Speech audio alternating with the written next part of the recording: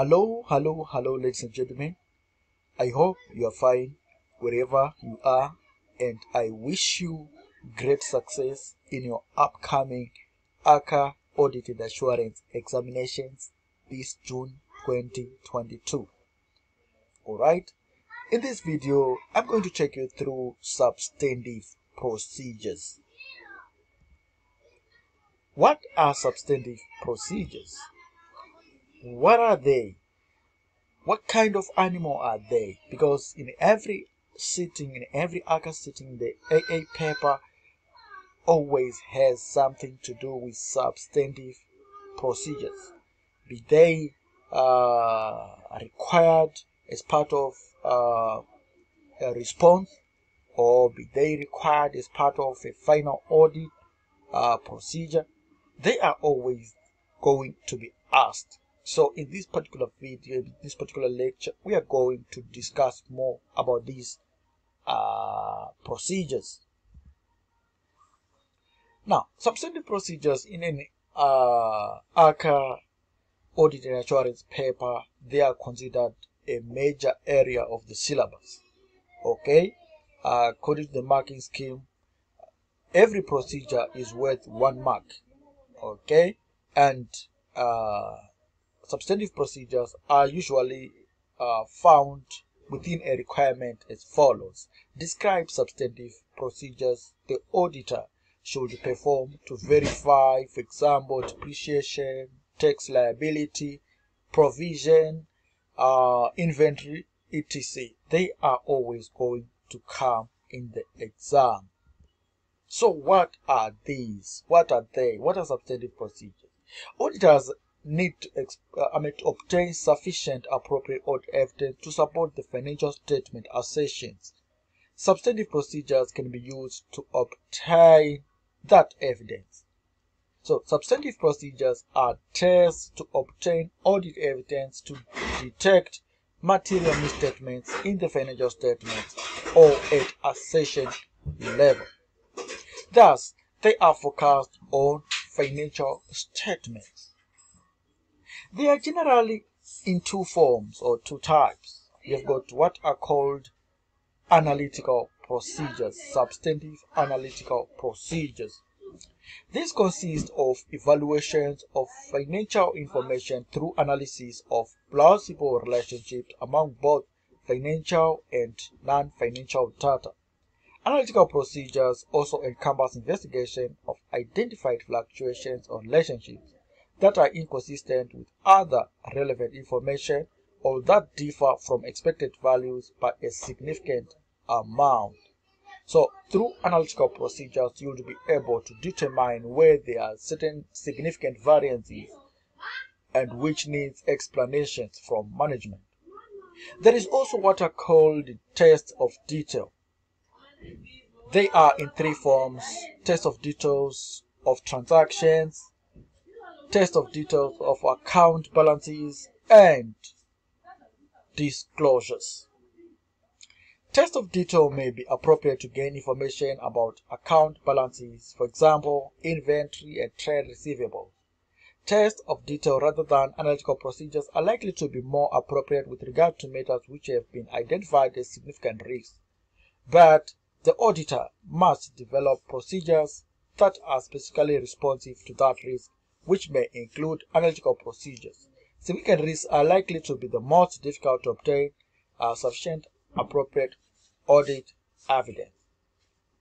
So you can see that uh, when we are talking of uh, analytical procedures, here we are. Let, uh, let me just take a back. Let me look for a pen here. Analytical procedures, these ones are largely related to ratio analysis, uh, ratios, trends, and figures, etc. But when we are talking of uh, test of details, these might involve things like tracing figures, tracing figures uh, to source documents, or from actual items on the shelves. On the shelves to uh, source, I mean, to accounting records, to accounting records, or source document.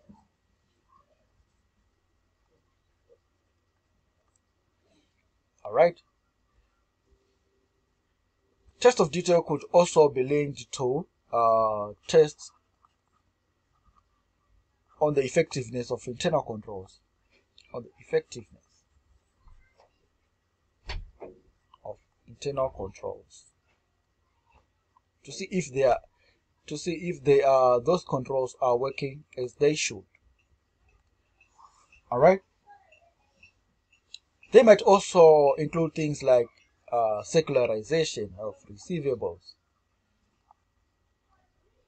circularization of receivables or payables. Those so so so you can see that test of details are those other procedures which are not analytical. Any other procedure the auditor might do uh, to test an account balance or disclosure or a transaction itself could, uh, I mean, are referred to as tests of details. All right. But when you are uh, analyzing, when you are doing ratio analysis, when you are doing trend analysis and so forth, those ones are called analytical procedures. All right, let's move on. More on analytical procedures. Analytical procedures can be used at all stages of the audit, starting from the planning stage as risk assessment procedures. So at planning stage, at the planning level, analytical procedures are part of the risk assessment procedures, where we'll be using the interim financial reports, the budgets, as well as management accounts. They can also be used as substantive procedures to obtain audit evidence directly Alright, remember the use of analytical procedures at the substantive testing stage is optional, but auditors must perform, this one is a requirement, they should perform analytical procedures at the planning as well as finalization stages of the audit. ISA, ISA 520 analytical procedures provides guidance for auditors on the use of analytical procedures as substantive procedures. So we have got this uh, auditing standard ISA 520 okay? Which talks of analytical procedures. According to this standard uh, analytical procedures include the consideration of comparisons with comparable information for periods for prior periods anticipated results on the entity from budgets or forecasts Expectations prepared by the auditors, for example, for example, estimation of depreciation. What the auditors think depreciation should be, uh, should be compared with what managers have uh, reported as a charge of depreciation. So such comparison, such such comparisons are considered uh, analytical procedures. There could also be comparisons between in, uh, what the uh, entity's results are and what the industry's results say or are. Then, those between elements of financial information that are expected to conform to a predicted pattern based on the entity's experience, such as the relationship of gross profit to sales. They are also part of analytical procedure. Then those between financial information and relevant non-financial information, such as the relationship between payroll cost to number of employees. Sometimes we discover that the payroll cost is not in tandem with uh, the number of employees available. All right, where we have got a higher wage bill but very few employees which are employed. All right. ISA 520 states that uh, when using analytical procedures a substantive test, the auditor must determine the stability of particular analytical procedures for given assertions. This is where, why we are being tested uh, to provide uh, substantive procedures relevant to a particular scenario. You need to know if this particular procedure is actually attending to the requirement. some of the procedures might be irrelevant and you're not going to be given any mark. Then you need to evaluate the reliability of data from which the author's expectations of recorded amounts or ratios is developed. Right? Sometimes you might be given uh, an inventory figure, but you need to ask yourself how reliable is this uh, source of evidence from which the inventory figure was obtained. So the reliability of the evidence should be considered. This is where you you need to point to the examiners that sometimes uh, a written representation of management is better than their verbal assertion.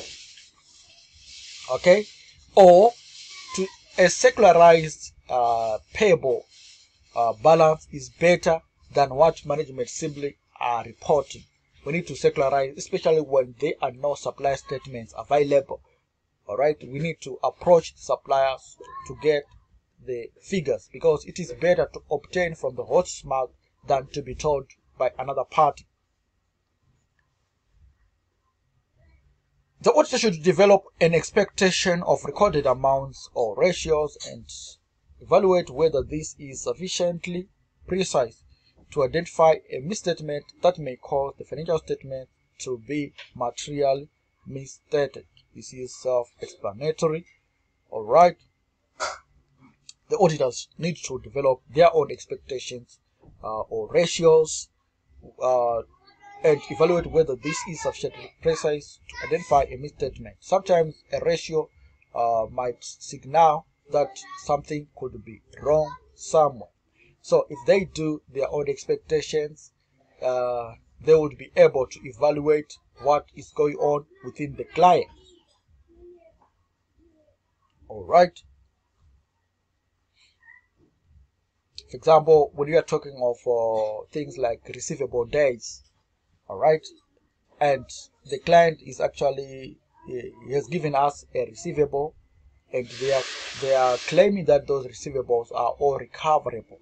But if we have seen that the receivable days have actually increased by far much uh, wider uh, margin in terms of days, then uh, we would be uh, inquisitive on the reasonableness of their assumption. Lastly, we have to determine the amount of any difference that is acceptable without further investigation. This has to do with uh, things like materiality. Sometimes uh, some differences could be, you know, within the materiality threshold. Then we need to just ignore such type of differences.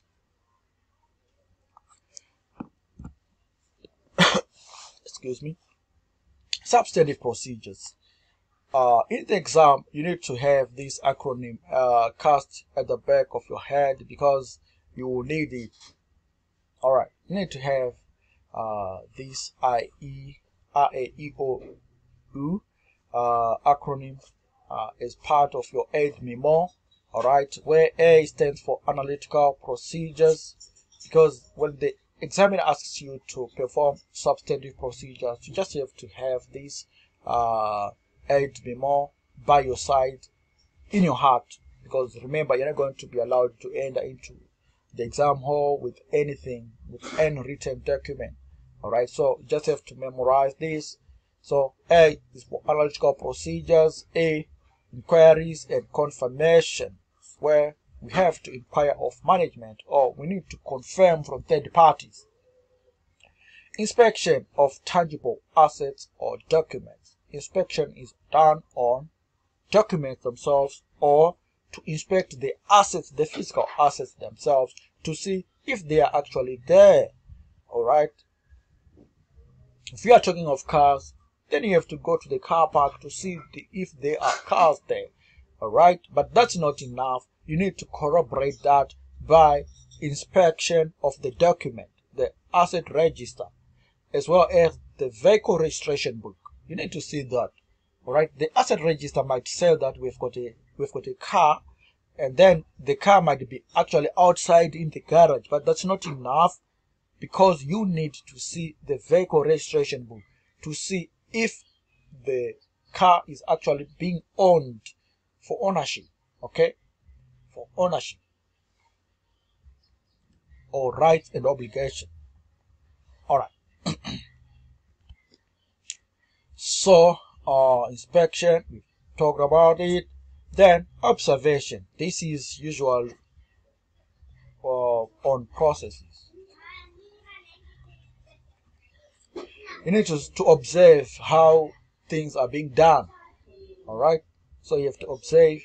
Uh, for example, you want to ascertain if employees are being paid their weekly wages personally by the cashier. You need to observe if there is actually proper counting. There is another person who is checking the uh, the cash count. Okay, the cashier uh, first count and then he gives to another person who cross checks to see if the balances are correct. So that's observation. observation of processes. Then recalculation. All right. Here we have got two uh, important terms: recalculation, calculation, and reperformance.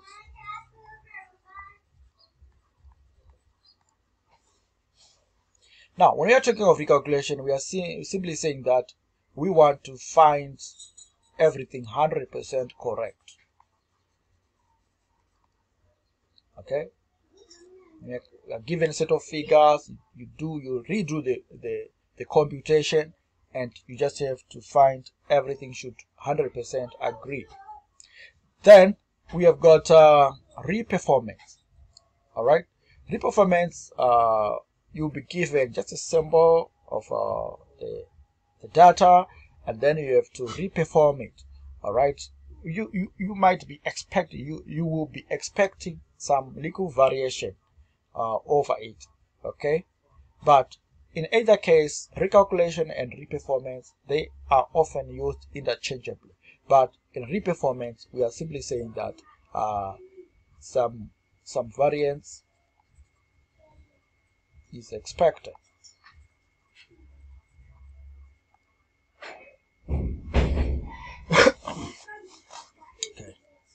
Sometimes reperformance is also used where uh, the procedure doesn't actually involve figures, where calculation sounds awkward. Okay, sometimes uh, calculation might sound awkward, and you, there is no need to calculate anything. There are no figures to be calculated, but you just have to reperform to see if you are going to come to the same conclusion. Okay. Uh, management claims these are assertions all right? We have got a financial statement of financial position uh, claims as well as statement of profit or loss and other comprehensive income claims all right? Now for this for the statement of financial position we are going to have these ones all right? These are the claims which manage, managers would be making. There is what is called existence all right are assets which are being claimed to be owned by the entity actually there. All right so you need to see if they are in existence. If they exist. All right then valuation. Okay existence. Then valuation. You need to see if the amounts which have been reported by managers are actually the correct amounts. So valuation we are talking about the amount at which the items, the assets, the liabilities are being uh, recognized. The amount at which those assets are being recognized. Then completeness. We need to see if uh, everything about an accounting balance has been recorded. Okay? Everything that was supposed to be recorded about an item has actually been recorded. Nothing has been left behind. Then, rights and obligation. We need to, to, to be assured that uh, the entity has got rights over the assets, okay, has got a, a claim right over the assets and is obliged to, to settle the, the purported or the reported liabilities. All right. So, to, on assets, there should be a claim right. Then on liabilities, there should be an obligation to settle. So it is the auditor's objective to determine if such claim right is there and if an obligation is actually there for a liability to be uh, recognized. Then, on this uh, statement of profit or loss, managers would claim that everything is complete. So you can see that completeness is actually in both of the statement, in both statements. All right, in the SFP, we've got completeness. In, in the statement of profit or loss, there's also in our session that managers are claiming that the sales figures you are seeing there are complete. Nothing has been left behind. No sales have not been recorded. No expense has not been recorded. Everything has been recorded and nothing more, nothing less. Then, uh, occurrence. The transactions which we claim to have occurred, they actually occurred. Alright? Then, everything was actually recorded. The, the expenses and the income for this particular period has actually occurred in that particular period. This is a cutoff, the issue of cutoff. Alright? The expenses and the income for this particular period has actually been recorded in that particular period. Then classification, every the incomes and the expenses were accurately classified or were properly classified. Then accuracy. Our figures, everything the, the presentation you are seeing is actually accurate in terms of our the applicable financial reporting framework. Everything is accurate. They are not, they are free from errors or fraud. Now, you also need to consider this acronym, DATA 3. Okay, when you are required, uh, I mean, when you are attempting to answer the substantive procedure requirement, you need to know where are you going to obtain the evidence. The first thing is uh, the D in the data tree. There is a D there. The D, the first D is for directors. You need to sometimes inquire of management or to obtain written representations from management about certain things. Alright, the directors or managers. Then the assets. You need to know that there are assets which should be evaluated for existence, valuation, and so forth. Or sometimes for inspection. Then the documents. You need to review the documents, you need to inspect documents, and so forth. Accounting books and records. You need also to uh, review uh, the general ledger uh, for uh, the recognition of that particular asset. All right.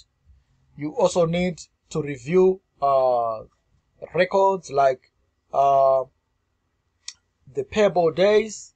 Uh, I mean the the payable uh, the purchase day book. Okay, the purchase day book for the uh, primary evidence of an entry, a purchase entry, or uh, as part of your uh, evaluation for the payables figure. You need to trace to the source document, which is the payables daybook, as well as the uh, purchases invoice from the supplier. All right. So we also need to verify the accounting records. Sometimes you need also to to uh, inspect the, the relevant cash book entry if a payment to, to determine if the payment was actually paid or, or made. There is then this third party uh, where we'll be talking of uh, uh, bank evidence, lawyers for provisions, especially legal claims. You need to uh, review correspondence with the lawyer for bank balances. You need to actually confirm from the bank, inspecting the bank statement, or to get or to approach the bank for uh, a bank balance. All right, and uh, we also need to circularize receivables or payables uh, confirmation. All right, please be careful here on the data. There is what is called positive confirmation as well as negative confirmation.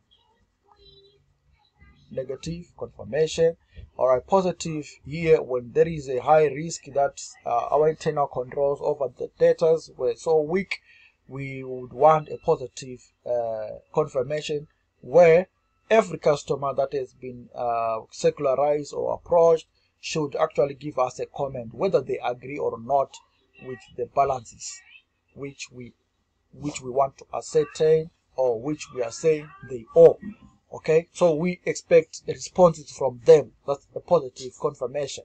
But when we are talking of a negative confirmation the risk of uh, receivables being overstated is very low. Uh, the controls on the receivables were so tight. So we just want only responses from customers which are in disagreement. Only those who are disagreeing then should actually respond to us. They should respond to us that's a negative uh, confirmation. Now, for suppliers, on suppliers, uh, we only do confirmation when there are no supplier statements because supplier statements are usually the most effective uh, form of evidence because it has been given freely without any uh, inducement or any pressure from the auditors. They they sent on a normal business uh, uh, arrangement to the to, to our client and they are saying that our client is owing this much. So their evidence is actually better than our uh, induced evidence where we make a follow-up. So we, we will only make a confirmation follow-up when they when there are no supplier statements available. I'm sure there we are clear. Let us move Okay, another point here is that uh, on negative uh, confirmation on uh, receivables, we will be having a higher uh, symbol of uh, smaller amounts, where we'll be having smaller amounts involved. There are small amounts involved, and uh, we just want information from those receivables who are disagreeing with our balances. All right think that's clear now. So what's next? We have to apply uh, those acronyms which we have mentioned. There is the RAEOU data 3 every uh, EVCR or COCA uh, for your uh, reference. Uh, these are the EVCR I'm sorry I just uh, I did not actually highlight them that's the EVCR for the statement of financial position assertion, where we say the v, uh, uh, E is for existence, V for valuation, C for completeness, R for rights and obligations. And then we've got COCA. COCA is here. Alright, COCA is here where we talk of completeness, occurrence, cutoff, classification, and accuracy. Alright, then uh, you'd also discover that other assertions, like for example, accuracy, uh, would also uh, be linked to other assertions, like for example, valuation in the statement of financial position, where the value should actually be accurate value. All right, something like that. Um, the data three, ladies and gentlemen, data three. Okay, that's the data three. Sorry. all right and uh, so we have to apply all these acronyms all right? The the RAEOU is applied on the data tree on the, our directors, assets, documents, uh, the assets, the document, the accounting records, and uh, accounting books and records, as well as on the confirmation of third parties like the lawyers, uh, the debtors, the payables, to verify the EVCR, okay, to verify existence, existence, to verify valuation, uh, the completeness, completeness, and rights and obligation. The rights and obligations.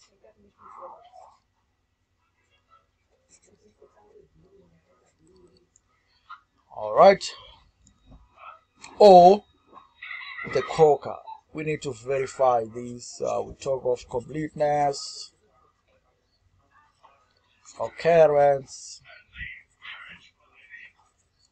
uh, classification,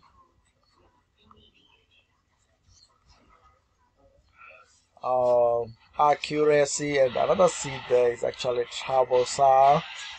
Okay, and I'm sure you can guess it, that one, you can guess that one.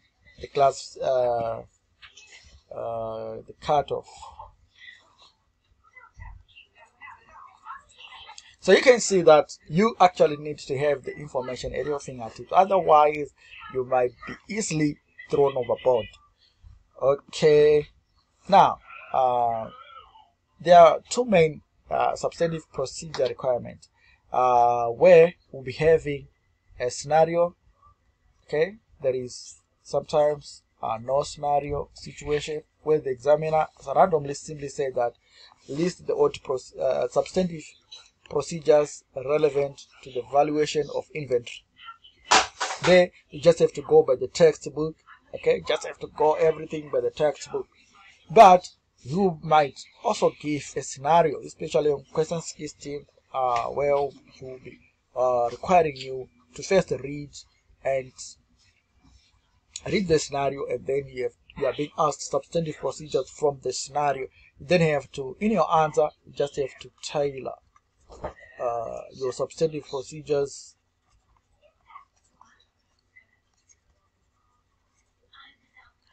to the scenario. Although the, the, the textbook knowledge will be, will be helping you, but you don't forget to tailor the substantive procedures to the particular situation. Otherwise, you are going to be given a zero. This is a very serious professional exam, so you need to show some maturity uh, because by the end of the day, you are being trained to be a professional in practice. Okay, so you're not going to be just a theoretical academic, but you are just go you are going to be somebody on the ground. Now, uh, substantive procedures, specific areas. We have got receivables. For receivables, we are going to use these EVCR. Why? Because receivables are statement of financial position items. and we say that uh, in the statement of financial position, every item that is for the statement of financial position should should be evaluated for existence, existence, okay, existence, valuation, uh, EVCR completeness, completeness, and rights and obligation.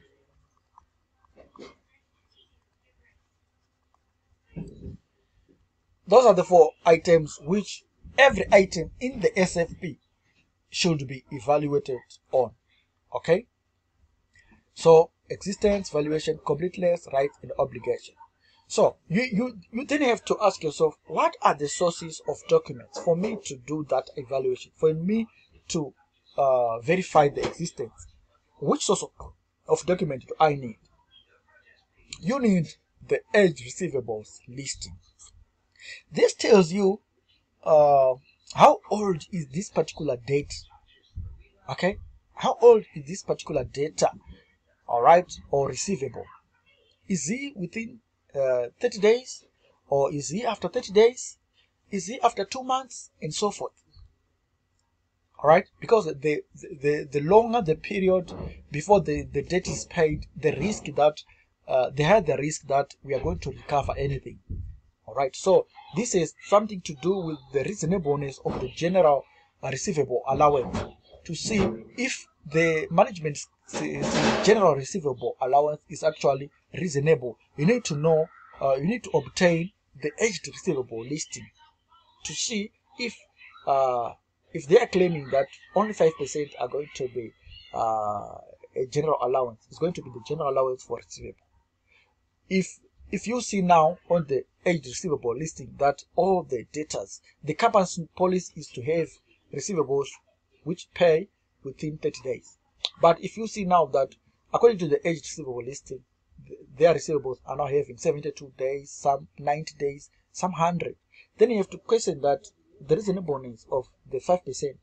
Sometimes it should be more because the higher the day, I mean, the more the days, the higher the risk. So the, the allowance should be increased to say 20% of them are not going to pay, or even 50% and so forth. So there you'd, also be testing the valuation of the receivable and also the existence of the receivable. Some sometimes such receivables are no longer in existence. okay, so the source of documents is actually very very useful and important. Then let's talk of the sales invoices. These are actually give evidence of this of, of the valuation of the receivable. All right, the valuation of the receivable. Then the goods dispatch notes. This gives us evidence of uh, the existence of the receivable. All right, the existence uh, because we would also be assured that actually the goods were dispatched to the client. All right, but uh, the issue of uh, completeness the rights also the rights. We we dispatch goods. So we have got a claim right over the money. We need our money. All right so uh the right and obligation is also there the issue of completeness is also touched there uh, because we would see that actually the transaction the sales transaction occurred all right uh, the, it occurred. So therefore, we have got a claim right over the receivable, and also the, all the recording that was supposed to. I mean, the recording is actually well supported by source documents there. We have got the receivables circularization letters. These also help us to determine the actual values. Uh, so the the valuation is touched here. Uh, also uh, to verify if our value is complete our figures are complete. After we circularize we then have to we then get assurance that if they agree then our records are complete.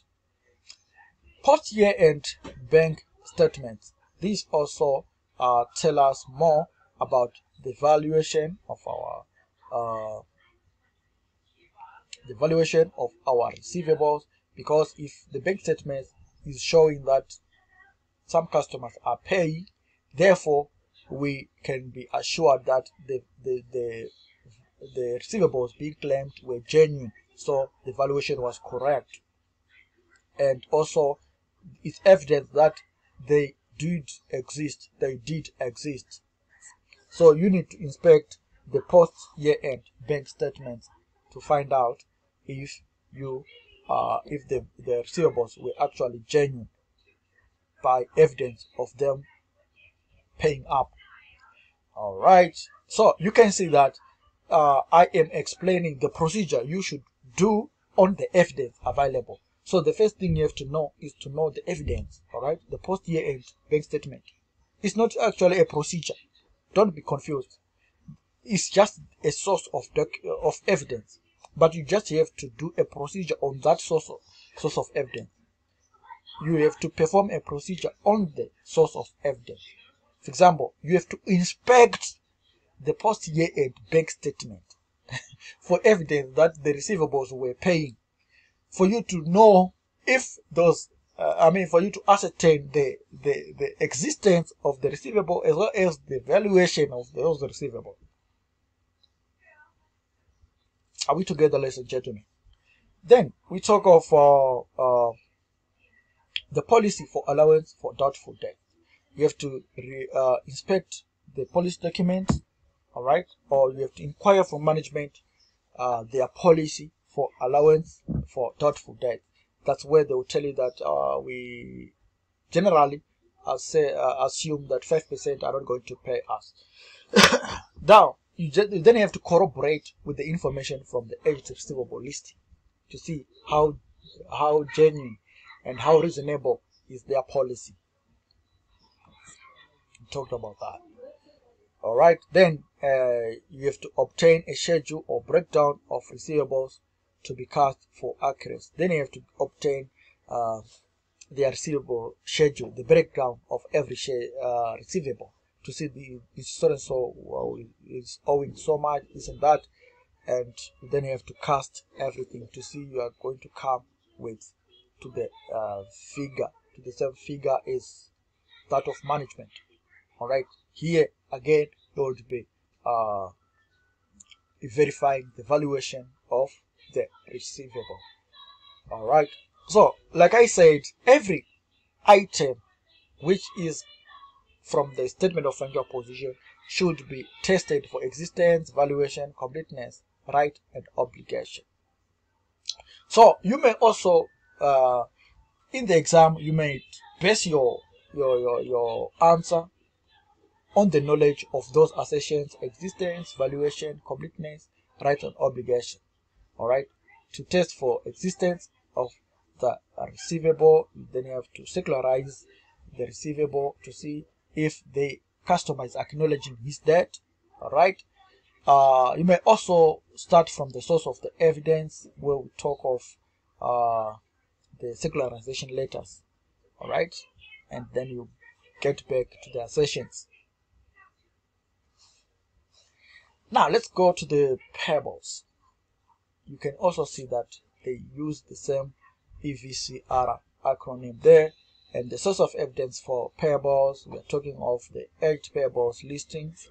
This gives us the, the, the number of days the payable has been uh, going unpaid. All right so we need to have that listing. All right we also uh, if the payables days is getting larger and larger and larger it's, it's good for cash flow purposes but at the same time might actually affect the business relationship of our client and its suppliers sometimes if they uh, it might be an indication that they are failing to pay or to service their payables therefore you need to then have to worry on their going concern. All right, on their going concern assumption. All right, so you have to review the payables listing, ob obtain and review the payables listing. Okay, for evidence that uh, they are honoring their obligations. okay, the, uh, or maybe on on the way to ascertain if management is actually uh, servicing its debt or their trade payables. Alright? You need to have that evidence. Alright? As part of your going concern uh, analysis.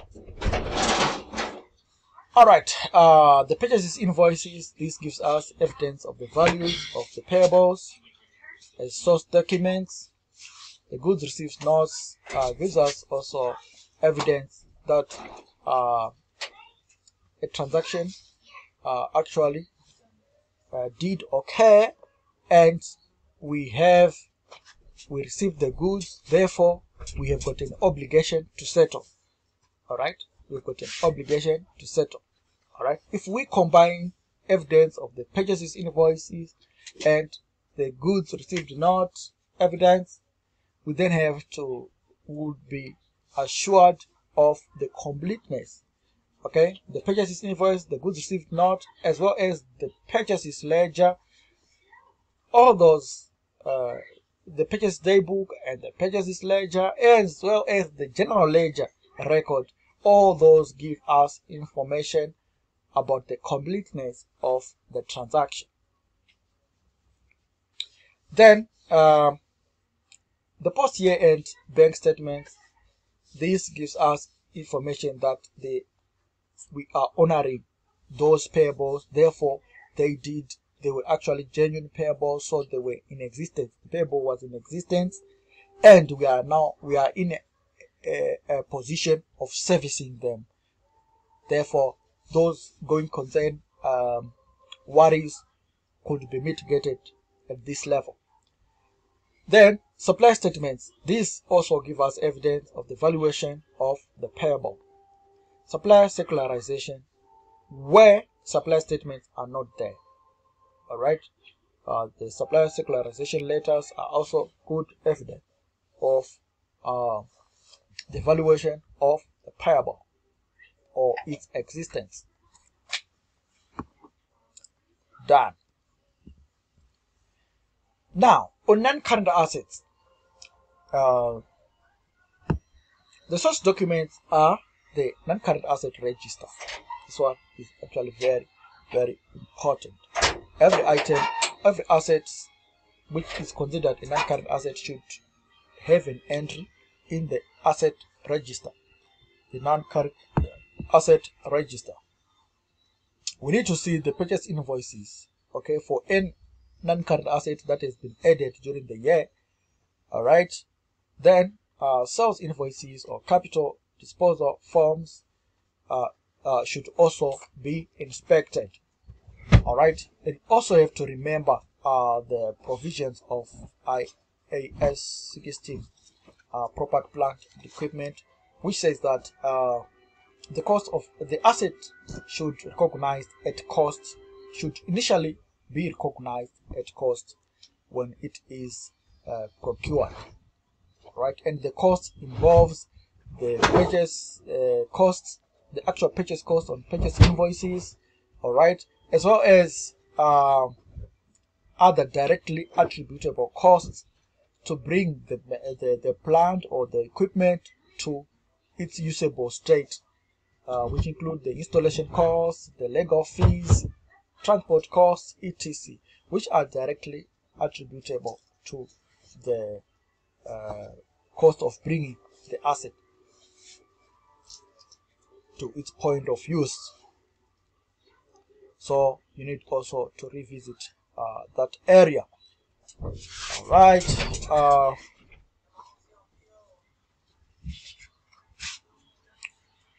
So when we sell assets, when the assets have been disposed of, this is when we have to uh, inspect the sales uh, invoices. All right, sales invoices uh, or capital disposal forms. They should be inspected. Then uh, bank statements and cash. Okay, for evidence that uh, the asset has been paid for right? The asset has been paid for or the asset has been disposed so therefore we need to have uh, an entry on the bank statement to see that the entity received money a credit entry on the bank statement or a debit entry in the cash book should be seen uh, as evidence that actually an asset was disposed of during the year and we obtained something. Then uh, physical assets themselves we need to see them to inspect them to see if they are there like I told you. Then, ownership documents, including the deeds and registration documents for cars, so forth, or title deeds for land, uh, for, for land and buildings. Then, uh, the depreciation policy and rates, we need to know that the depreciation policy, which has been adopted by the entity, whether they are using straight line or reducing balance method, and the reasons why we need to inspect in the policy. All right. Uh, the capex budget or capital replacement plans uh, what is management's uh, plan for the future? Uh, how long do they take to replace an asset and so forth? This is part of the inquiry. Okay but uh, on the evcr what would you which assertion would you be testing there when you inspect the capex budget or capital replacement plans.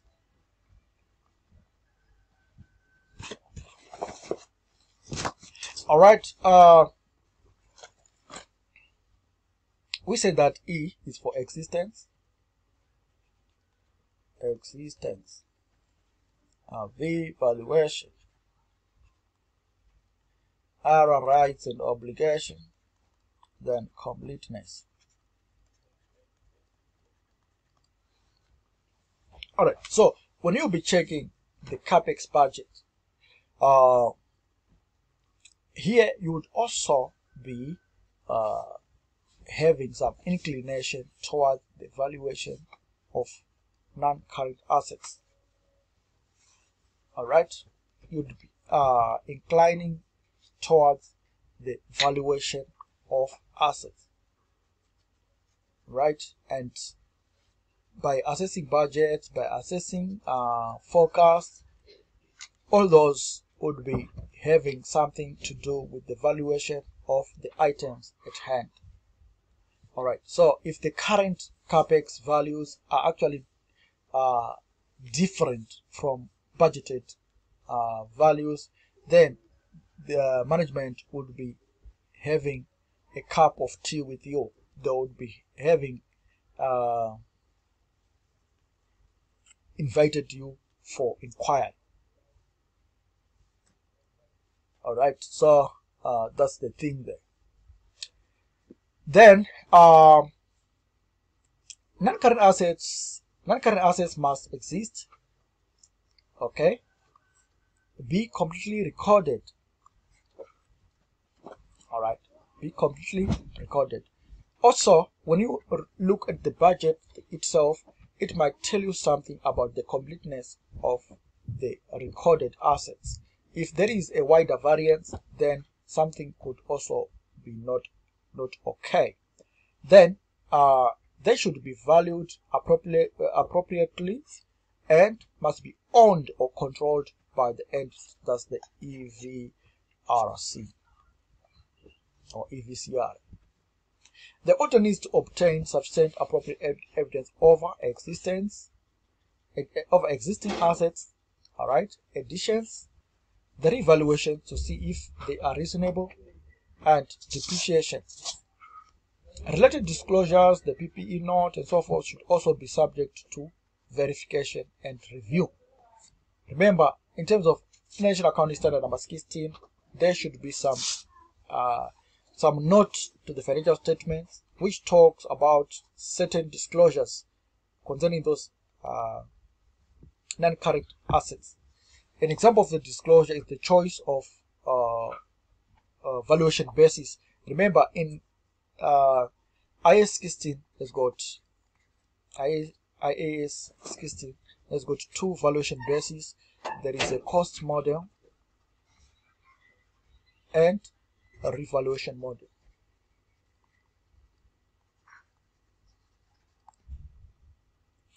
So initially the asset is recognized at cost okay? But on subsequent periods the managers have to choose whether they are going to use the cost model or the revaluation model. All right the, using the cost model the asset is is valued at its cost less accumulated depreciation but when you are using the revaluation model the asset is revalued frequently okay? Frequently. Uh, let's say at least three every three months or every two months the asset is revalued all right so the asset will be recognized at revalued amounts less and uh, accumulated depreciation. All right that's the deal there so once you know what the accounting standard requires, then you can also be in a position to evaluate if managers have done it right or not. But by the end of the day, if an item is a statement of financial position item, for example, in a non-current asset, therefore you have to use the EVCR acronym. Existence, you have to test for existence. Is the asset actually there? How do you do that? Then you have to go and inspect the asset.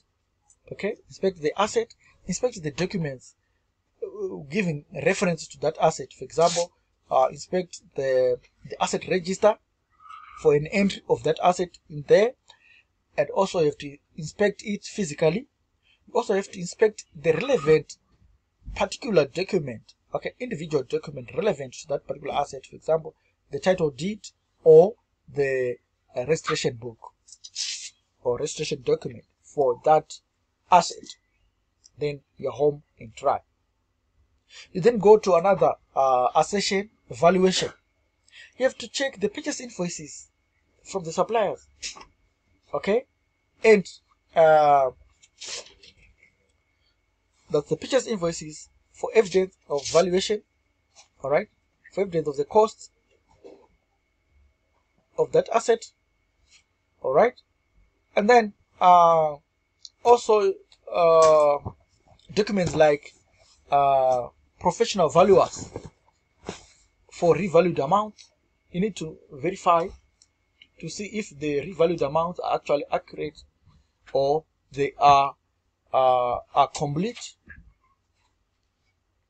so for valuation you need to inspect the certificates of the professional valuers of the property to see if the, the revalued amounts were actually uh, correct or uh, complete.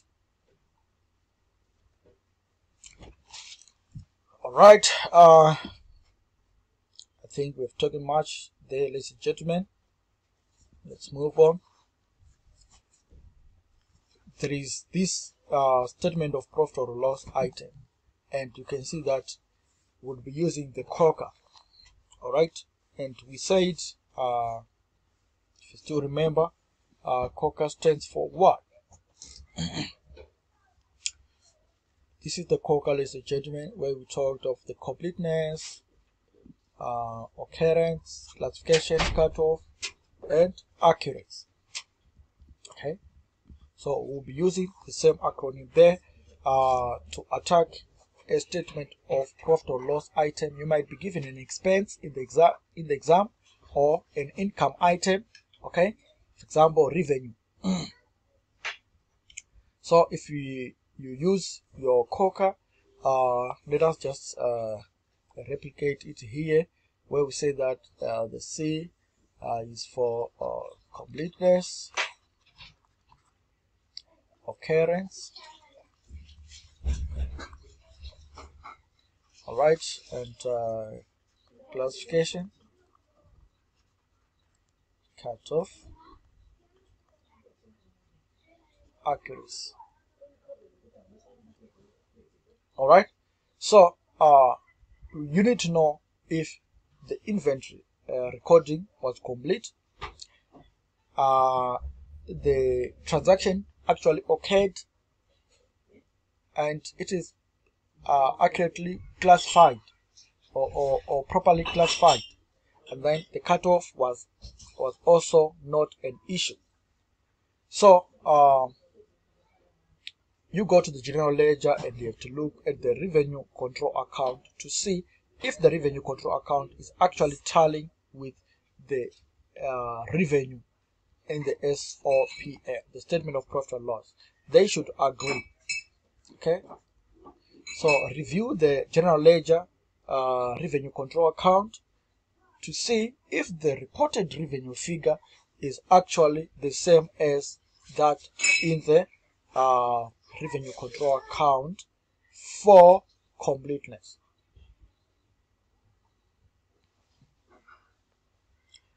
All right.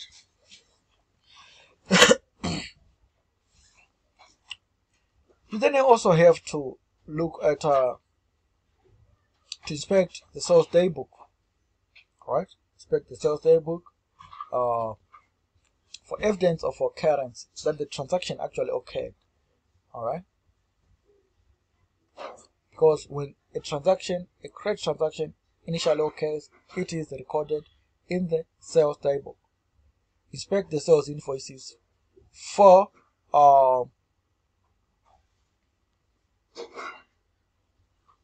to, to see if uh, the figures which are being reported are at actual values okay or correct values or or for accuracy of those uh, figures all right uh, in the extraction of data all right if there was accuracy in the extraction of data from the source document to the books of accounts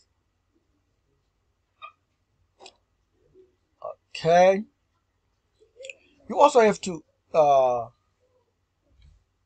inspect the sales invoices to see if they actually relate to this particular uh, to see if the sales figures actually relate to the accounting period. Okay? For cutoff reasons. All right so you need to uh, look at the dates of the invoice all right for cutoff reasons.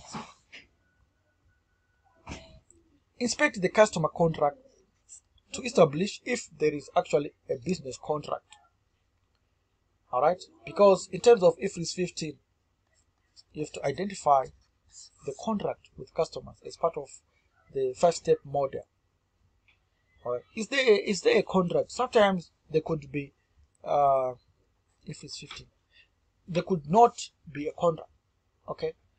There would not be a contract. So in that situation the, the management would have to recognize certain sales.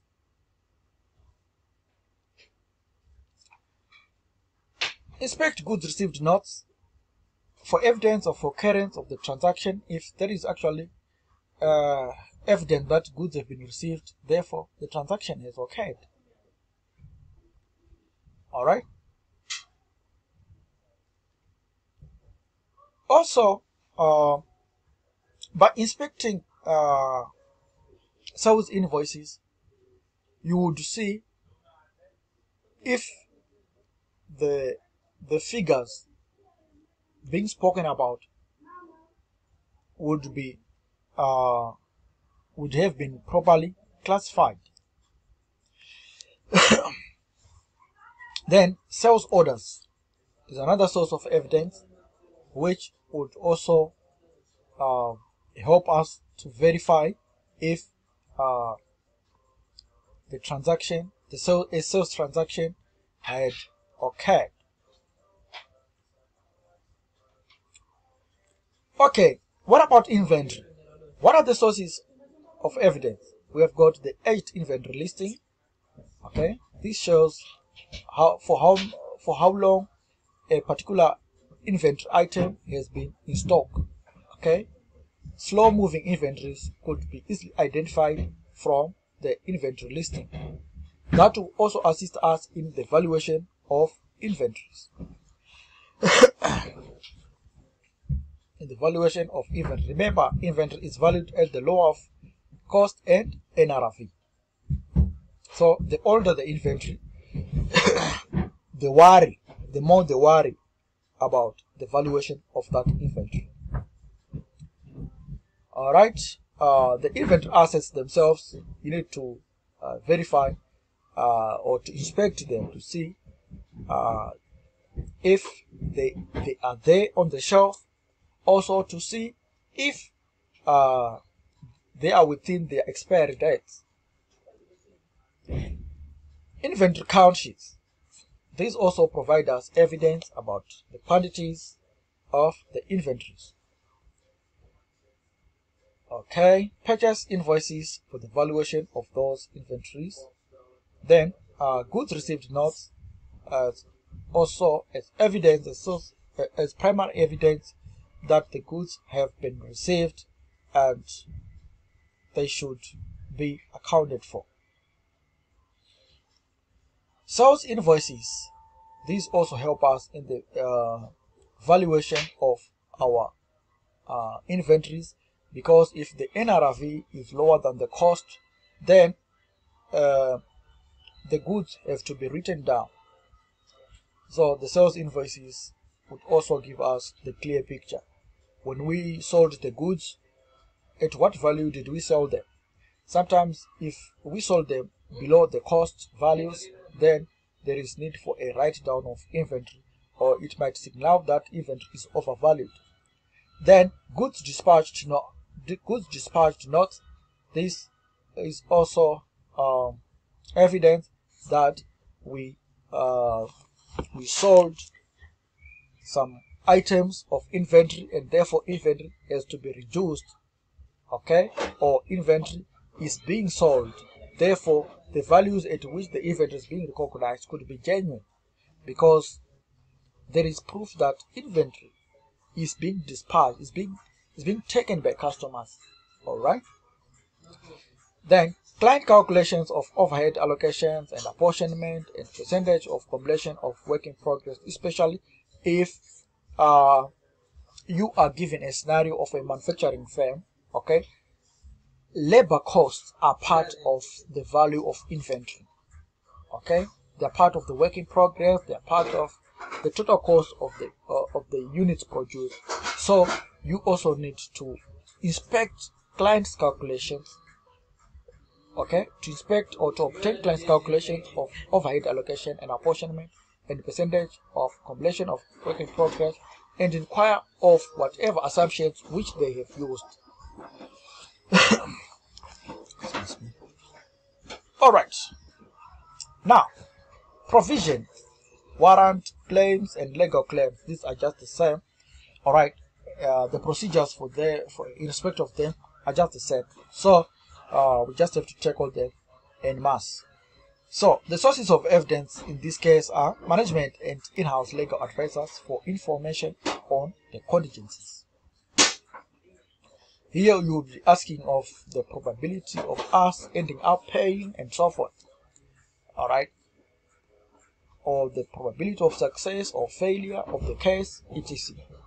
Then uh, minutes of meetings of the board and correspondence between the entity and its external legal advisors. You have to review the board minutes to see if uh, there is actually a tug of war between the client and the, the bereaved party or, or the aggrieved party. okay? The aggrieved party. Then, uh, the legal expense account this is almost like an analytical procedure where you would be evaluating uh, any any differences between the current legal expense versus the prior period versus uh, I mean legal expense to see if there is been a wide uh, gap or wide difference. Breakdown of all provisions that recognize breakdown of all provisions recognized and details of all contingencies disclosed.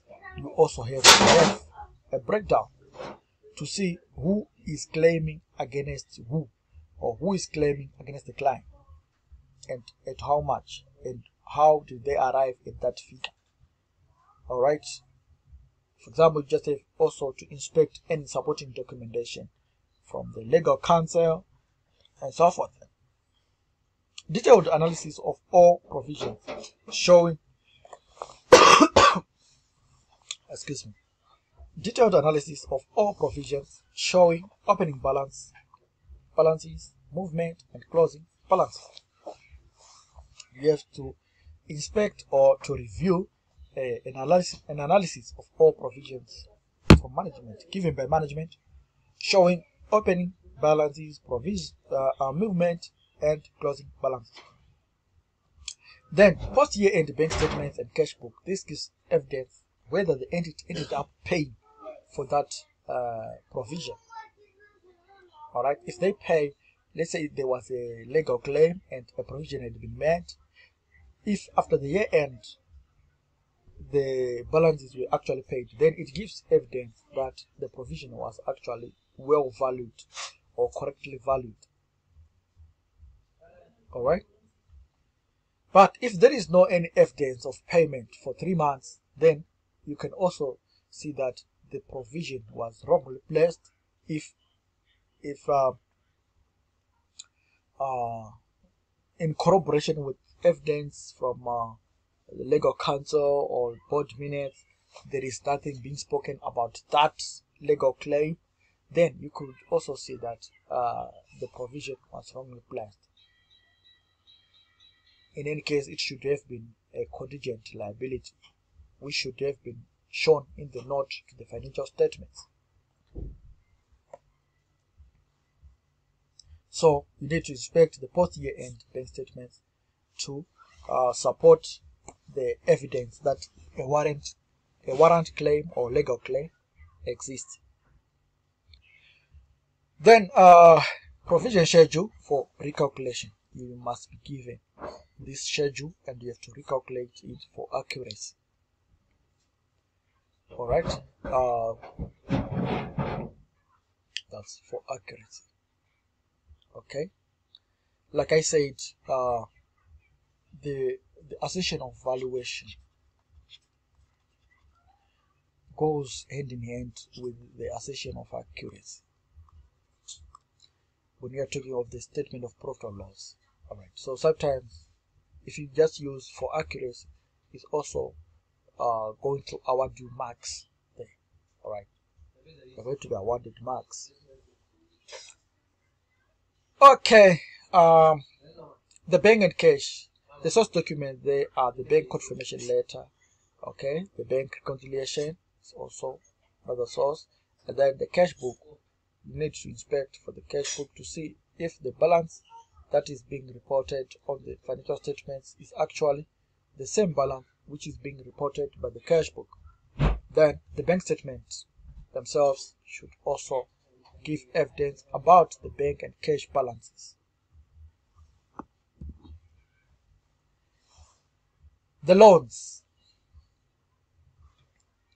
The, the acronym applicable is the AVCR because Loan is a statement of financial position item.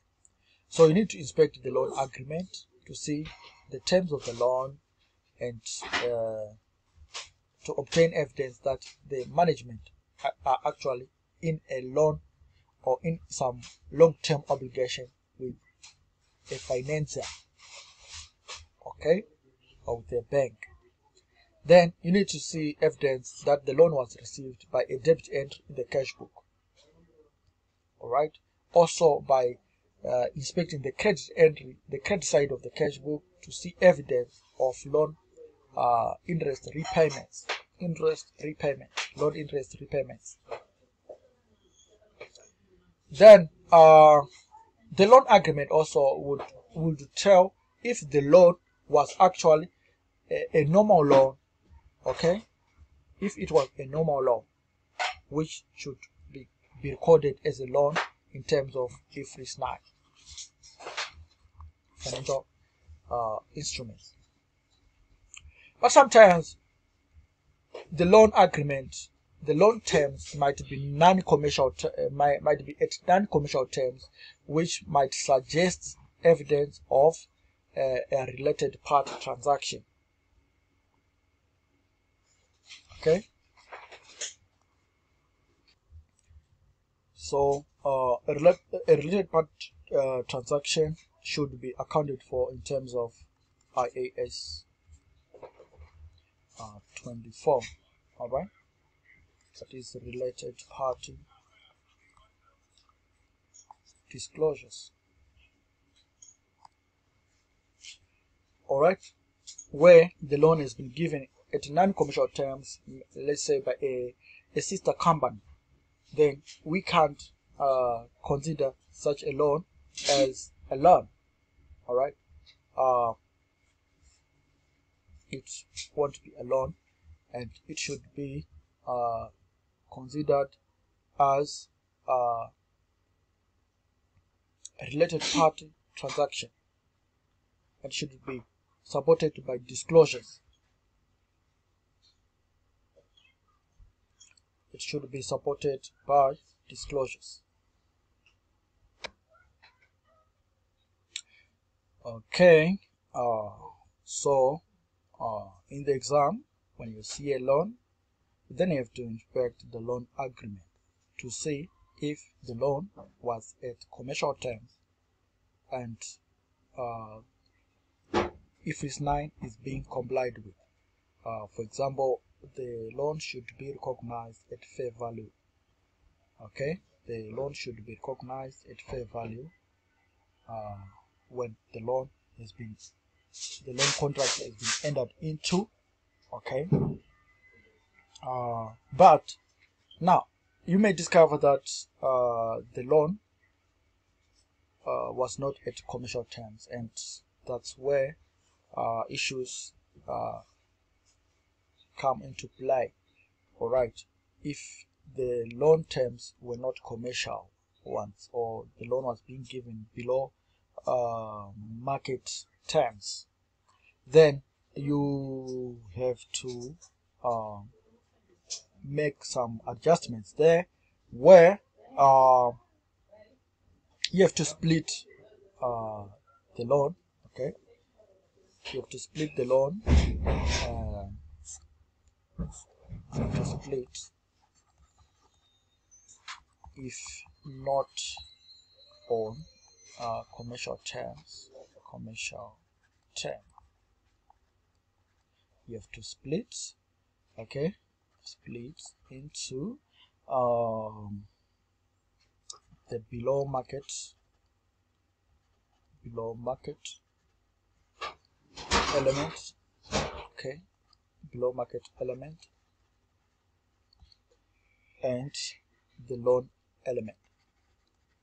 And loan element. Okay that element which is uh, below market as well as the uh, loan element. All right has to be considered. All right so uh, how do you account for the below market element?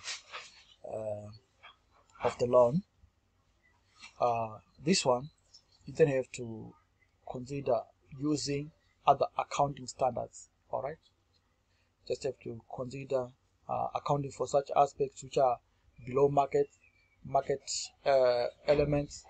Uh, for example uh, IAS IAS 19 employee benefits employee benefits. Okay employee benefits if uh, uh,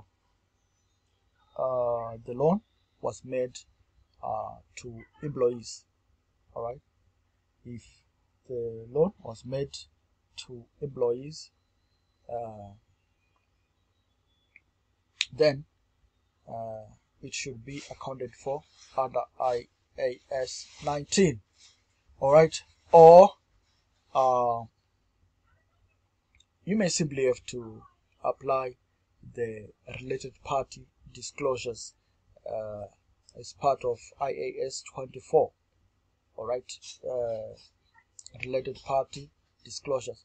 But uh, or you simply have to uh, apply the conceptual framework. If there is no accounting standard that can address that the conceptual framework to see if the loan fits the element of a liability you may discover that uh, there could there are no obligations uh, over the, uh, the, loan.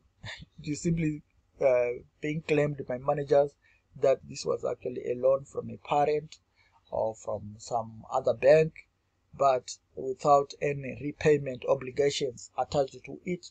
So you may discover that it might end up failing to meet the loan. So by inspecting the loan agreement you might be ending up uh, seeing what would be going on. Okay uh, all right so after you split the below market elements so the below market elements they they're the ones which are troublesome but the loan element itself would be treated accordingly IFRS 9 okay just treat it in accordance with IFRS 9 okay covering all the aspects of the classification of the loan the measurement and whatever impairment that is attached to the loan okay? So uh, let's suppose a subsidiary or a parent is loaned a fixed um, a fixed term loan to a subsidiary okay? Uh, if the loan has been given at no commercial terms then we just have to do what we discussed there. We consider the below market element and the loan element all right? So the loan element is going to be treated in accordance with IFRS 9 or and then the below market element is what we have to consider as uh, simply the related uh, part uh, element. Okay so the below market element is just the difference between the fair value of the loan okay the fair value of the loan and the actual loan which has been given. That difference is what we call the below market element. All right so uh, we then have to uh, consider we consider the setup as actually the related part setup where uh, the loan has been given at below market value. So we'll consider it as a, a an investment. We might co consider accounting for the whole transaction as simply as simply a capital contribution where we are saying the parent has actually increased its capital contribution um, in the subsidiary. All right?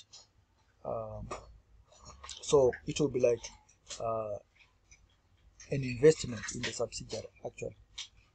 All right so the guiding IFRS there would, be uh, the IFRS 3 okay business combination or or IS 10 you know uh, consolidated financial statements. All right that's what we'll be using there all right. But uh, here we uh, i'm just in um, stimulating some inquisitive inquisitivity in you to see uh, to go beyond your the requirements of your examination. Uh, in the exam you just have to elaborate that you need to know the terms if to see if they were on commercial or non-commercial terms. Uh, non-commercial terms might give indications that uh, the transaction could be between a related party and a related, party disclosures should be actually made. However, uh, the loan itself should uh, continue. I mean, should continue to be accounted for in terms of IFRS 9. Okay, in terms of the uh, the classification, the measurement, or the payment that is involved all right uh, but if there was if it was a non-commercial uh, element uh, i mean if it was a non-commercial setup then we have to consider the below market element as well as the loan element right? And um, the below market element is to be accounted as follows all right? As follows. Where a loan uh, is made by a parent to a subsidiary and is not on normal commercial terms, we believe uh, the difference between the, the loan amount and its fair value should be recorded as follows. All right, an investment in the parent's separate financial statements. All right, should be recorded as an investment in the parent's separate financial statements. That is, as a component of the overall investment in the subsidiary. All right or a component of equity in the subsidiary's uh, individual financial statements. This is sometimes referred to as a capital contribution. Alright, so this is actually consistent with the conceptual framework which defines income as increases in economic benefits during uh, the accounting period in the form of inflows or enhancements of assets or, li- or, or decreases of liabilities that result in increase in equity other than those relating to contributions from equity participants. All right. Uh, so th- that's uh, uh, basically what we'll be talking about here. All right. So there is actually much more to uh, to to say when you are given a task to perform substantive procedures on loans. All right. So you need to review the loan agreement to see the terms of the loans. All right. The terms of the loan. All right. Also, the cash the cash book, like I said, would also give you evidence to see that uh, the, uh, the loan was actually made at what particular date was it received all right. And the bank statements also support support whatever uh, the, F, the, the cash book is saying. And also the bank confirmation letter.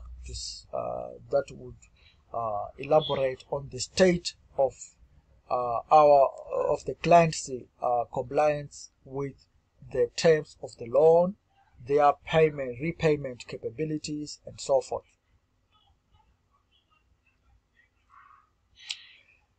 Now, uh, intangible assets. Let's talk of intangible assets. I'm sorry, I spent much time on this area because you know uh, I felt it was there was need to do so to ensure you are comfortable with the area of substantive procedures with regards to loans. Now, intangible assets. We are going to use the same acronym EVCR because they are financial state, uh, statement of financial position items. So we need to uh, know the following sources of evidence where we are saying you must obtain the breakdown of expenditure during the year to see which costs were actually accumulated to the intangible asset. All right, uh, the purchases invoices, the timesheets, timesheets for labor on a particular uh, asset which was being uh, researched on or developed. And then, in this case, remember when we are talking of intangible assets, these are development costs as well as costs in acquiring the brands, etc., the licenses. All right, so timesheets on on the uh, I mean for the labor which was involved in developing a particular item of intangible assets. The development expenditure or project plans should also be reviewed. Uh, project test or trial results to see if it is actually feasible uh, to become a, an asset.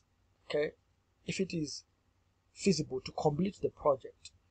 All right. So the the results of the, of, of whatever test that has been done should be communicated to see if there are some positive prospects to succeed in the project. Then cash flow forecasts should also be considered because by the end of the day, the intangible asset should be able to meet the definition of an asset. So are we able to get some economic rewards, some economic benefits from this asset, from developing this asset? The license agreements should also be reviewed. Third-party valuation report, for example, brand names and trademarks. We need professional valuations, valuation reports to ascertain if the valuation by management is correct. Then the uh, amortization policy and rates, like depreciation policy and rates, should also be be known or be inspected. Okay. Also, please uh, know this about uh, intangible assets. There is a difference between uh, research and uh, development. They're different. They are different. Research and development. These two terms are different. And in the world of intangible assets or in the world of IAS 38 intangible assets these two words are very common and they are going to hound us. All right we are talking of research. Research is original and planned investigation undertaken with the prospect of gaining new scientific or technical knowledge and understanding Alright, so an example of research could be a common in the pharmaceuticals industry undertaking activities or tests aimed at obtaining new knowledge to develop a new vaccine, especially in this coronavirus thing. Alright, if a company undertakes uh, research, okay, uh, research activities or tests aimed at obtaining new knowledge to develop a new vaccine, then we can say they are into research. Okay, they are incurring research expenses. The command is researching the unknown, and therefore, at this early stage, no future economic benefit can be expected to flow to the entity. Alright? Now, when we are talking of development, development is the application of research findings on other knowledge to a plan or design for the production of new or substantially improved materials, devices, products, processes, systems, or services before the start of commercial production or use. Alright, so when we are talking of development, this is the application of those research findings. So you start by research and after researching some, you obtain some findings. Alright? But now, using those, those findings or applying those findings, that's the issue of development. Okay? An example of development is a car manufacturer, for example, Toyota, okay, undertaking the design, construction, and testing of a pre-production model. Remember, there is uh, there is much hype up about Tesla's uh, robo taxi, the robo taxi, uh, which is uh, which does not does not need a driver uh, behind the wheels for this particular taxi. So uh, it is actually still in the stage of development. All right, but the research has already been done. All right, that's development expenditure. All right, so how do you treat uh, or how do you recognize uh, research and how do you recognize development expenditure? All right, we need to be guided by IAS uh, 38. IAS 38. IAS 38 uh, states that an intangible asset is to be recognized if and only if the following criteria are met. Alright, how do we recognize an intangible asset? So let us be led here by the ISA, the, the relevant IAS, relevant accounting standard. Alright, so I'm looking for my eraser here okay i'm sorry i'm rubbing off these things so that uh, we don't have a clutter there so uh, recognition criteria. Recognition criteria. Oh sorry i'm trying to underline and i'm ending up crossing everything. Oh sorry. Just assume it's an underline. Okay recognition criteria. All right uh, it should be probable uh, that future economic benefits probable. Uh, future economic benefits. Uh, will flow will flow to the entity from the asset okay? From this particular asset, future economic benefits from the asset will, will flow to the entity and the asset, the cost of the asset can be measured reliably or reliably measured reliably measured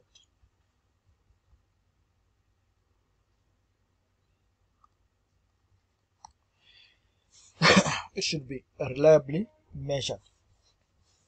All right. So those are the two uh, recognition criteria that should be uh, considered for us to recognize the intangible asset. However, uh, we need to also account for research and development. Uh, research, like I like like I've already indicated, is still an expenditure. No asset is yet uh, uh, is yet available. okay there is still research on. so uh, the research phase uh, should should only be considered as an expense so should be expense to the profit or loss so as a result International Accounting Standard number 38 states that uh, all expenditure incurred at the research stage should be written off to the income statement as an expense as an expense when incurred and will never be capitalized as an intangible asset. So we are saying that the research stage should be expense to the statement of profit or loss. Okay.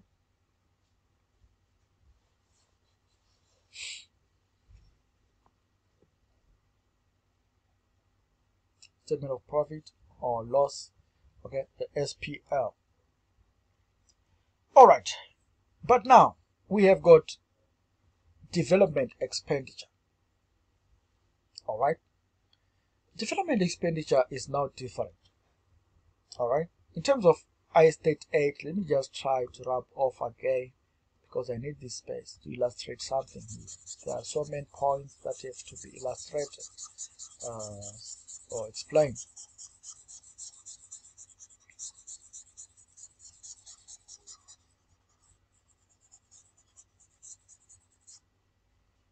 Okay. Uh,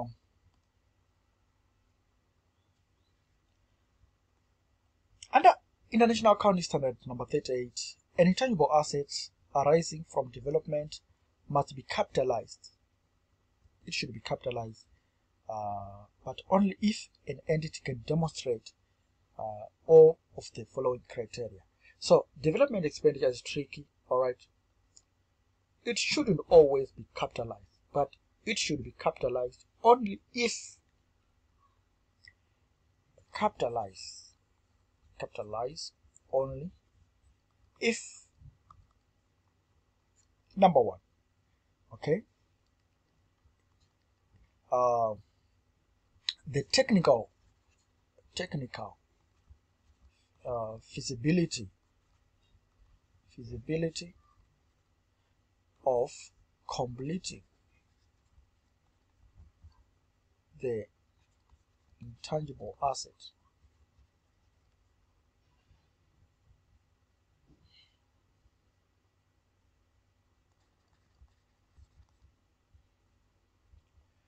The technical feasibility of completing the, the intangible asset can be demonstrated.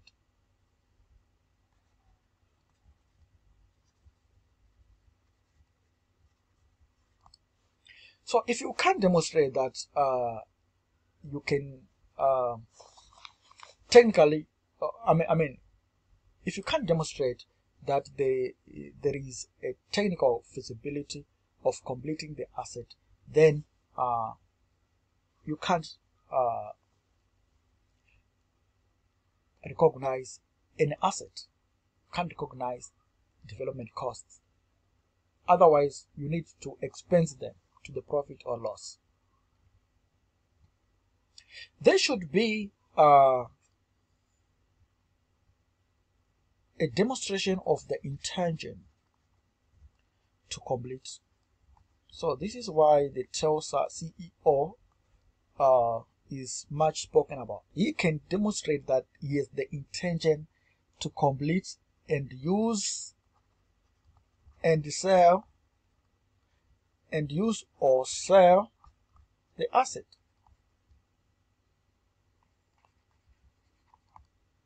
Mr. Musk is, a, is somebody uh, who is uh, actually uh, interested in the feasibility, the technical feasibility and completion of the of the uh, the robot taxi.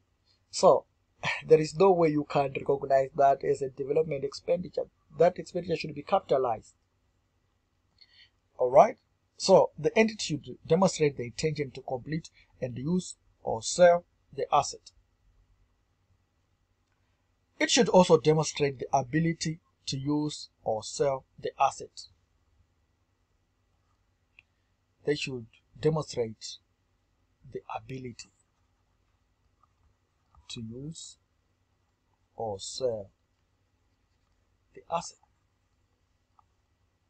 There should be the, uh, the such an ability being demonstrated that we are going to use and sell this asset. All right. So you as an auditor, you know, how do you see uh, how can uh, an entity demonstrate that by providing you the forecasts? They should demonstrate from their forecasts, from their market research findings, if the robotax is going to be uh, procured. Obviously, in this generation uh, Z, uh, everyone is actually interested in everything that is to do with digital progression, uh, digital advancement. So everything, every new product that is coming along the lines of digital or digitization is going to be bought because the, the, the market is ready for such products. All right.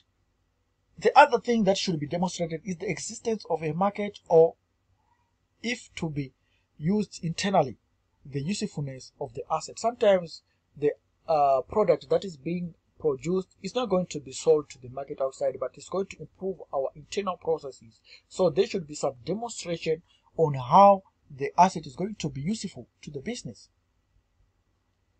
There is also need for demonstration of availability of adequate technical, financial, or other resources to complete the asset. If you visit the Tesla Corporation, you will see all forms of scientists available.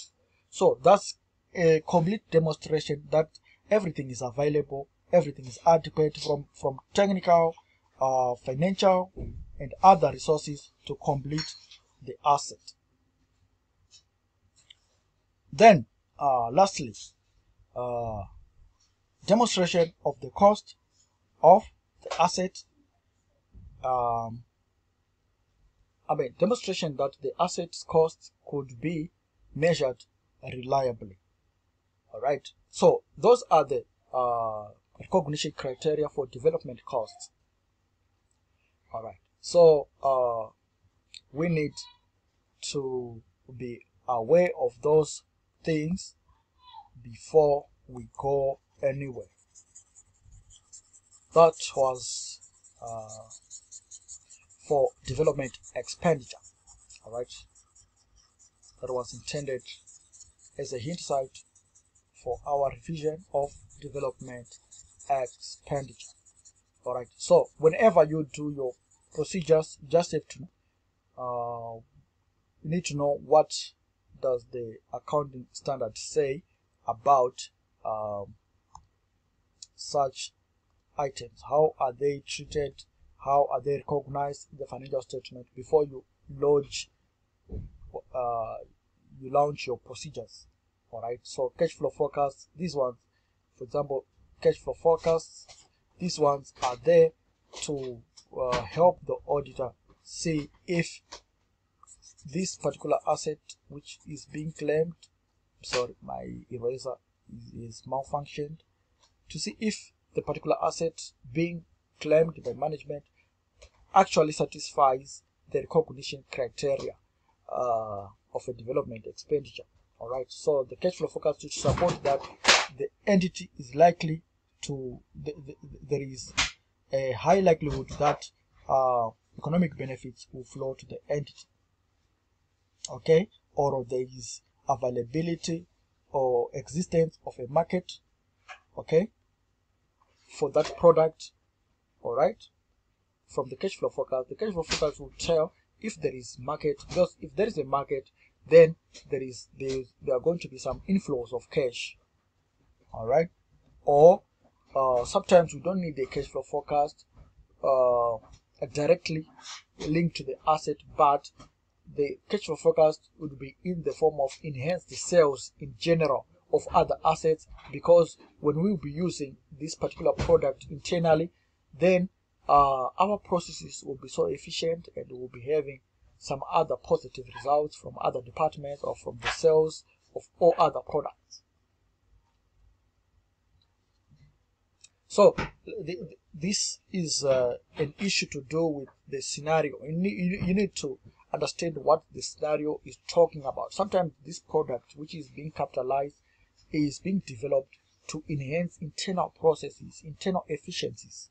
So we need to see forecasts from affected departments, like for example the production department, to see their forecast in terms of production forecasts. All right, forecasts need not only to be monitored; they might be production forecasts, which from a cost center, which does not uh, bring money directly, but will be seeing things like positive improvement in terms of quantities produced, tonnages produced, etc. Okay. Now, uh, the substantive procedures on share capital and dividends. On share capital, our source documents are the uh, share certificates, you know, the share register. Okay, the company keeps a share register for its shareholders, the share certificates which are issued to each shareholder. You might also uh, have an inspection of a share certificate, a, co a copy of those certificates which have been issued to shareholders, and uh, bank statements and cash book for whatever share issue that is occurred during the year. All right, and then the board minutes for approval or authorization of whatever share issue that took place during the year. Okay, and for the reasonableness of the share issue, was there any need for you to issue any further shares and so forth? And then uh, register of companies reports uh, if the company is actually uh, complying with its with the requirements of the register of companies all right and in terms of their correspondence when it comes to uh, the issue for uh, shareholding issues. All right shareholding issues. Now uh, on dividends you need to review board minutes. Usually this is linked to the approval of the dividend and uh, whether there was an approval for increase or decrease of a dividend and so forth then the bank statement for evidence of dividends paid and then uh, inspection of the dividend warranty all right so uh, when you're talking of uh, dividend warranty uh, this is simply a document. Document all right uh, showing uh, that the shareholder is entitled to a dividend is entitled to a dividend. Why should auditors worry about dividend warrants? All right uh, this actually gives evidence that the the dividend was not only declared uh, it was payable. All right? It was payable because when a warrant is actually given shows that the dividend was actually being paid. All right. So that's the reason there.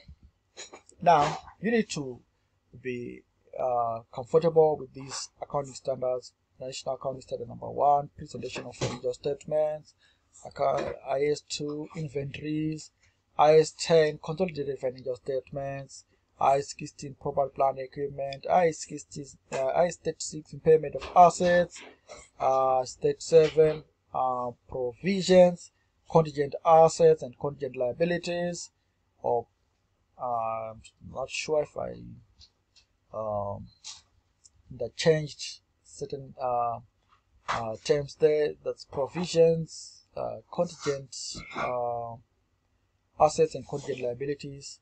Okay, something like that.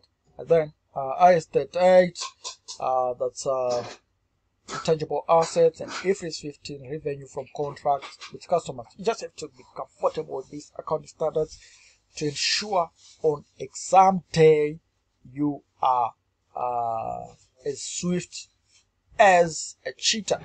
Now, uh, you can just download the summaries, you know, the summaries of these international accounting standards on the on the website, you know, on the web, okay, on the internet. Just just download them, the summaries, the summaries, and then uh, because from those summaries of accounting treatments, how an an issue should be treated, that's when you can safely address or come up with a relevant substantive procedure. All right, uh, ladies and gentlemen, we can at least do uh, the first two uh, past ACCA exam questions together so that we call it a day. But the last tip is that think about the procedures. All right, when you are developing substantive procedures, think about the procedures. Uh, that is the RAEOU, where you said the analytical procedures, inquiry or confirmation, inspection, observation, and recalculation or reperformance. Think about the assertions, uh, the EVCR or COCA. Think about typical sources of evidence, the data tree. Get clues, hints, tips, ideas from the story itself. Think about the relevant accounting treatment and seek to verify it. That's the last tip, ladies and gentlemen. Nobody must fail. I say nobody must fail this upcoming audit examination. Now, let us read this uh, ACCA past question, the AA uh, past question for September 2016. Elounda Co manufactures chemical compounds using a continuous production process. Its year end was 31st July 2006 and the draft profit before tax was 36 uh, 13.6 million okay that's the profit before tax all right you are the audit supervisor and the year-end audit is due to commence shortly the following matters have been brought to your attention and we know that for materiality purposes we say that 5% of BP, PBT is material. Anything that is above 5% of PBT is material. Now, uh, the following matters have been brought to your attention. The evaluation of property, plant, and equipment. At the beginning of the year, at the beginning of the year, uh, management undertook an extensive uh, review of Elounda Elounda caused non-current asset valuations and as a result decided to update the carrying value of all PPE. Alright. The finance director Peter Duman contacted his brother Martin, who is a valuer, and requested that Martin's firm undertake the valuation which took place in August 20 x 5. Mm. That's 5 marks there. That's uh, the issue there. So you can go straight to the requirement essay and hear for yourself. Required. Describe substantive procedures you should perform to obtain sufficient appropriate or evidence in relation to the above three matters. So, substantive procedures in relation to this. To suf to eh, to perform. I mean, you should perform Describe substantive procedures you should perform to obtain sufficient appropriate evidence in relation to the above three matters. So, uh, in relation to the uh, first item, they want they they will give you five marks there. All right. So you just have to describe the substantive procedures. All right. Um, in relation to this part. All right. And um, we are being told that there was a revaluation which was which took place and the revaluer was the brother to the to the finance director Peter Duman all right? So um, you just have to know how or what could be or, or what could be the procedures applicable there. All right? Um, if you are inquisitive about the brotherliness between the finance director and the valuer uh, and you just have to pinpoint the risk attached to that. But remember, you are not uh, required to list the risk, okay? But by knowing the risk, you then have to know what procedure you have to to to perform to attend to that risk, okay? Uh, to ensure that the valuation or the revaluation was actually done above board. So what procedure do you do to verify that the valuation was done above board? Alright, that's that's the answer that is going to give you a mark. If you simply just list uh, there was uh, uh, some uh, familiarity, uh, whatever, between the finance director and and his brother, this and that, you get a zero because that has never been asked and maybe has nothing to do with the valuation right? So um, let us try to come up with a substantive procedure related to the revaluation of property plant and equipment. All right uh, we need to obtain uh, a schedule of the PPE so um, let me just try to look for a, a more darker pen there. Um, something that is a bit darker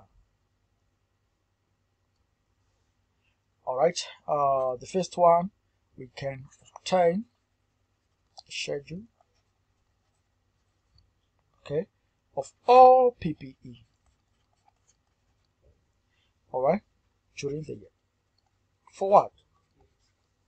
Why do we need a schedule of all PPE during the year? All right. And cost.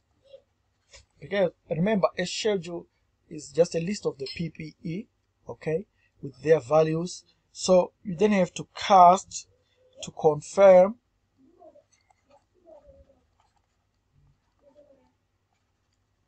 completeness and accuracy of the revaluation adjustment. And we have to agree to um, trial balance and uh, the financial statements.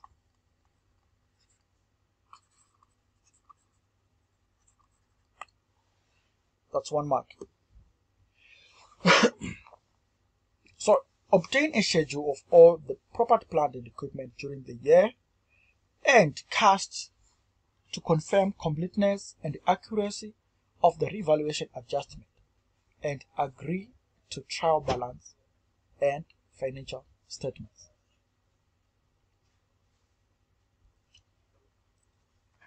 Okay. We can also be assisted with what we uh, wrote here about non-current assets.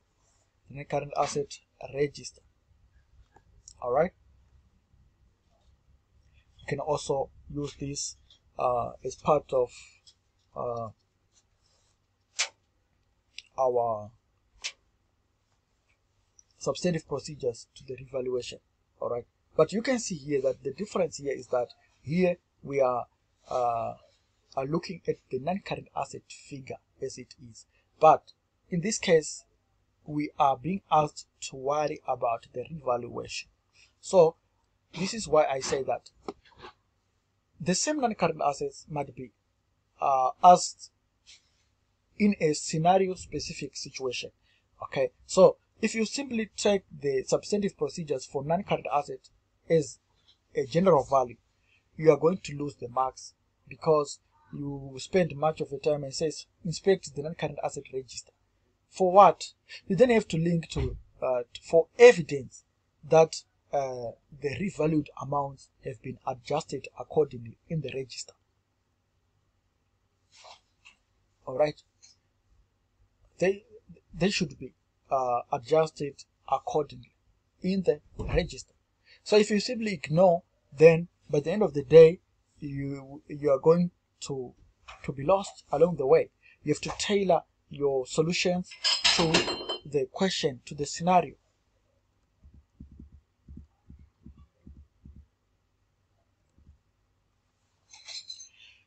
Okay, um, let us try to attack using our EVCR. All right. Um, let's talk something about the valuation.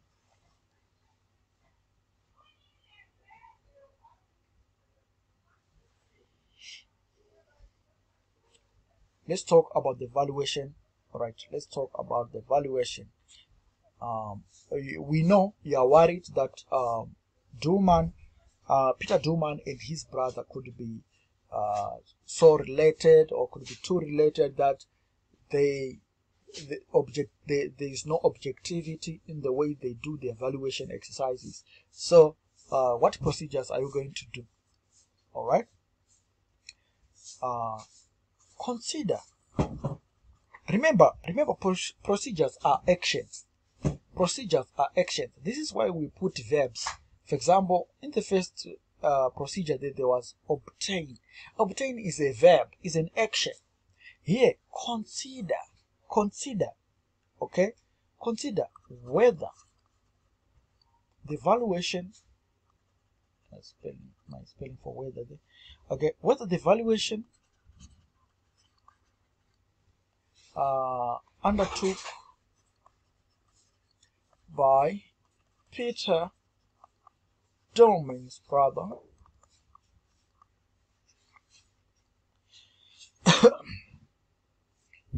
Was um,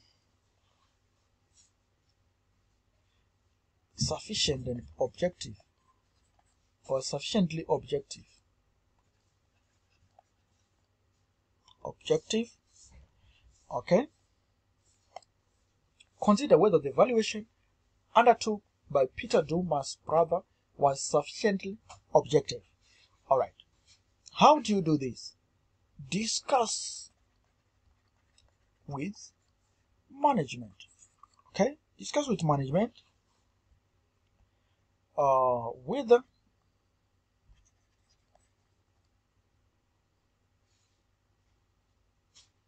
Martin uh, Duma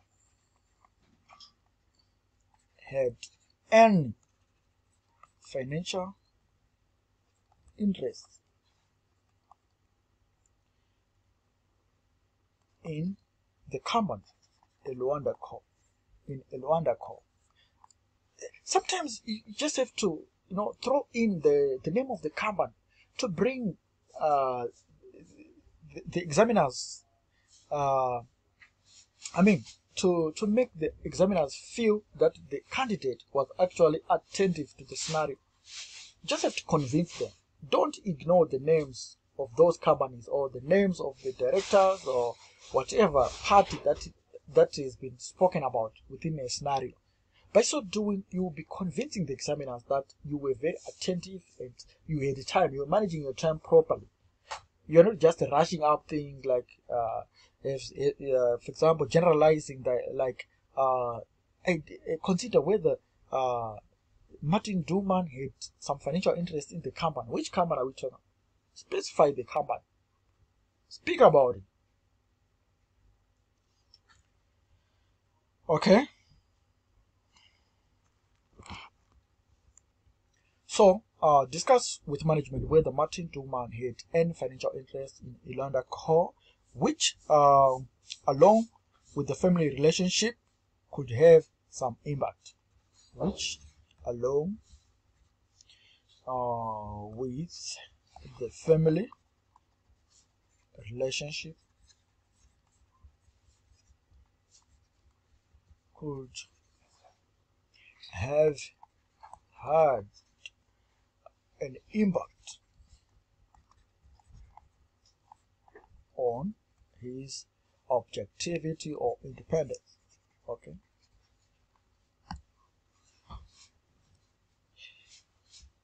You can see that it is not easy to get a mark. Okay. But you can only get a mark if you sufficiently explain your procedure. There shouldn't be any vagueness when when a marker reads your procedure. You must exhaust everything you know about that procedure. So you have to tell us the action you are going to do and why you want us to consider your action as valid. Why is it a good action? What do you want to achieve by doing that action? So in this case, consider whether the evaluation undertaken was uh, sufficiently objective. Because you are you are worried. There couldn't be some there couldn't be some objectivity because these guys are brothers. So you are worried. So consider whether the evaluation undertook by Peter Duma's brother was uh, was uh, sufficiently objective. Then discuss with management whether Martin Duman had any financial interest because objectivity could only be impaired if there is some issue of gain involved. If there are some financial interests in Elounda Co, the fact that these guys are just brothers can't actually be a, a, an issue to worry in the professional circles. But it becomes an issue if it is now being supported by some financial interests in Elounda Co, which along with the family relationship could have had an, an impact on his independence. Okay, you're done there. You need you also need to reread the scenario for the second time to originate more. But in the exam, remember you won't have more time, and you're not always expected to have as much winding and long procedures as these ones. But here, for the purpose of learning, we expect you to come up with solid and well explained substantive procedures as these ones. Okay, let's talk something about the uh, revaluation. Remember, we are being led by the existence. How do we uh, test the existence of the PPE? This one should be simple. That's a simple non-current asset uh, uh, evaluation. Okay. So you need to uh, talk of the existence, but bearing in mind the issues to do with uh, valuation.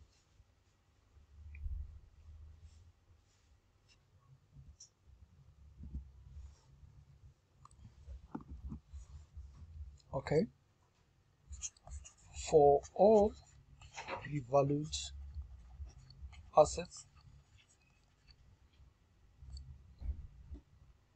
um, confirm existence by physically inspecting them. Okay. Going back to the issue of uh, valuation, to the issue of valuation, agree the revalued uh, amounts the revalued amounts uh, to the valuation report. For what? To the valuation report uh, by the valuer of course for for agreement okay? Or for um,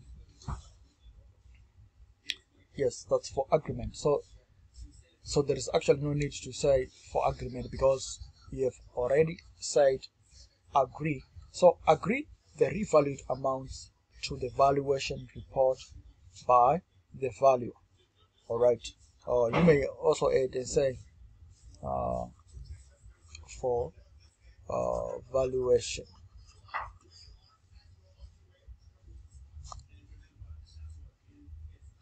All right. And then um,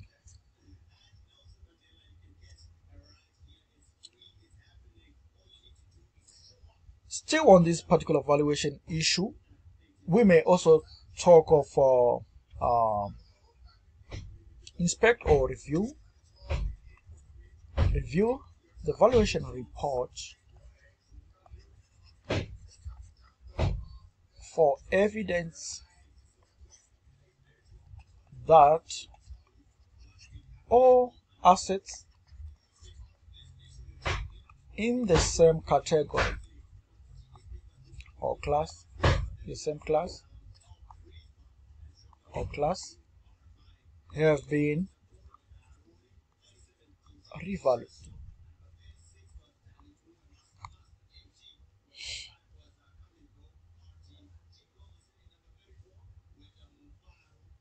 All right.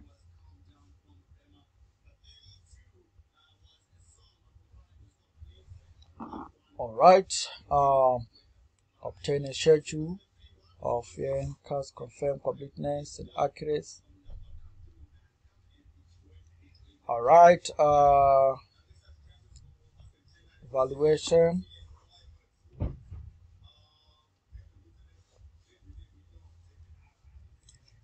And uh, completeness. Let's talk of completeness. Uh, uh, agree agree uh, the revalued amounts. Agree the revalued amounts uh, for for the these assets for these assets um, are correctly included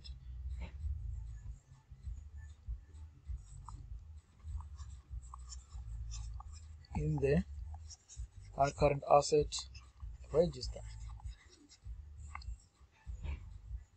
So we are centered on revaluation, revaluation, the revalued amounts, it is all right. so you have to agree that the amounts or the adjustments made during the year with regards to revaluation is actually been reflected in the asset register. Alright, only five were required and you can see that we are already uh, at number six okay just to be safe you can just write seven of them per each. All right um then uh just for you know for accuracy and you can also uh, talk of uh, the recalculation issues. All right recalculation. So recalculate recalculate uh, the total revaluation. Revaluation adjustment. And agree uh, correctly to the revaluation surplus. Where do you get the revaluation surplus? Where do you record it? The revaluation surplus in the other comprehensive income.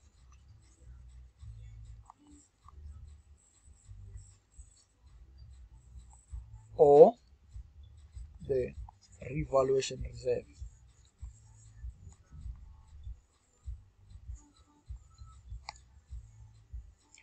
If you expand from uh, from here. Even if you were supposed to get a 49% the examiners would say ah no let him cross over because he really knows what he's writing about. Okay? Because most of the people who pass this paper are not actually uh, auditors at heart, but they are people who show some maturity. You know, you know, you need not to be uh, more sophisticated, but you just have to show that you are ready and jovial. You are very jovial and jocund. You are ready to just cross over. Okay, we're done there. We're done. Um, you can also add that uh, you uh, review the financial statements, review uh, the FS, review the financial statements, uh, disclosures relating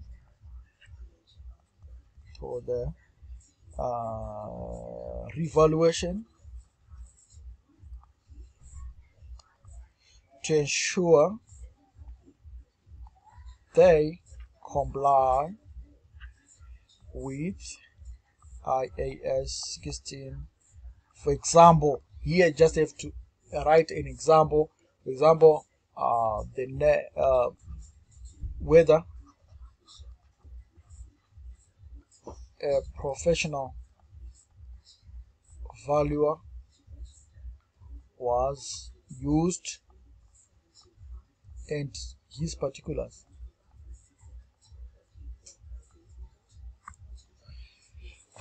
more details about this professional who has been employed to value uh, to revalue our properties.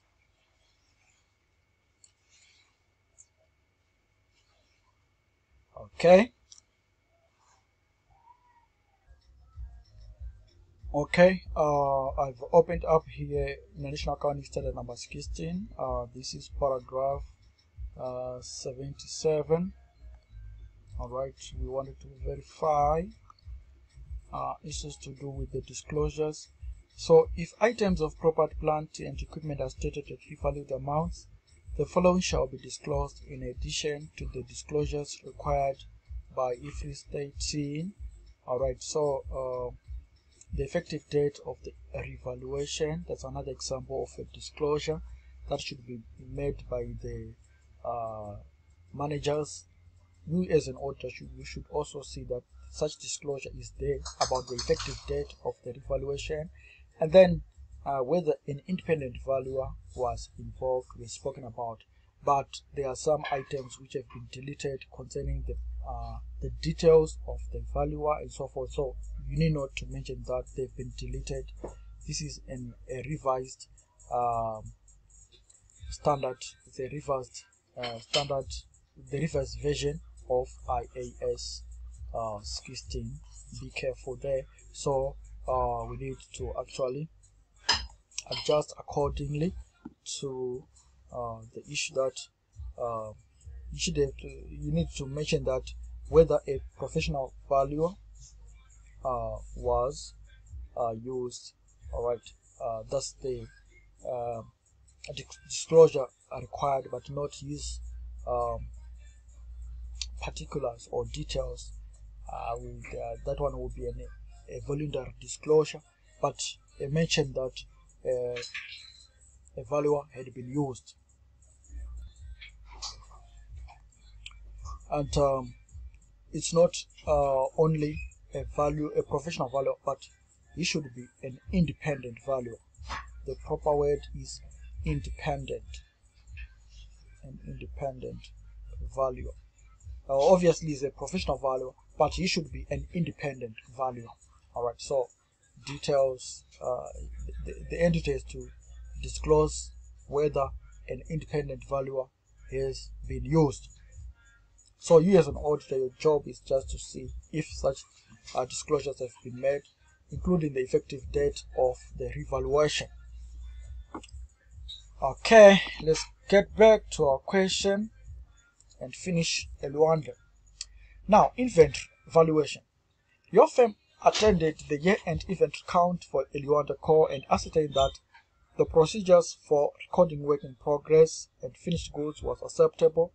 Both working, uh, working in progress and finished goods are material to the financial statements and the quantity and stage of completion of all going or ongoing um, reduction uh, I mean production was recorded accurately during the month or ongoing production this is a P there then during the inventory count the the count supervisor noted that a consignment of finished goods compound E23 E243 with a value of 720,000 was defective in that the chemical mix was incorrect. The finance director believed that compound E243 can be can still be sold at a discounted sum of 400,000. Alright, so from 720 to 400,000 it's actually a, ma a, a material difference there. So such a write down is should be a worry to an auditor. Now, how do we account, I mean, what substantive procedures do we perform to this whole story about inventories? So let us do it quickly. Um, for to have more space, since my space is now limited. Alright, so let's talk about uh, substantive procedures. Substantive procedures uh, for inventory valuation.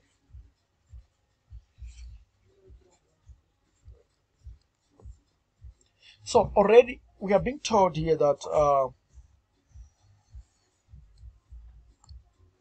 when we are talking of inventory valuation, we are not targeting other assertions like uh, existence, rights and obligations. Here the examiner is specific.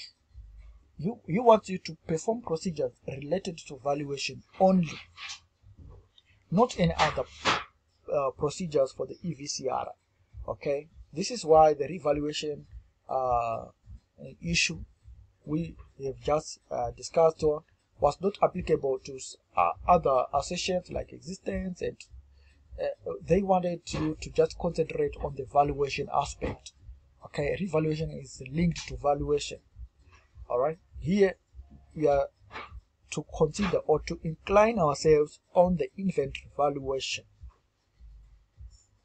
So uh, the first thing we have to do, we have to obtain obtain a schedule.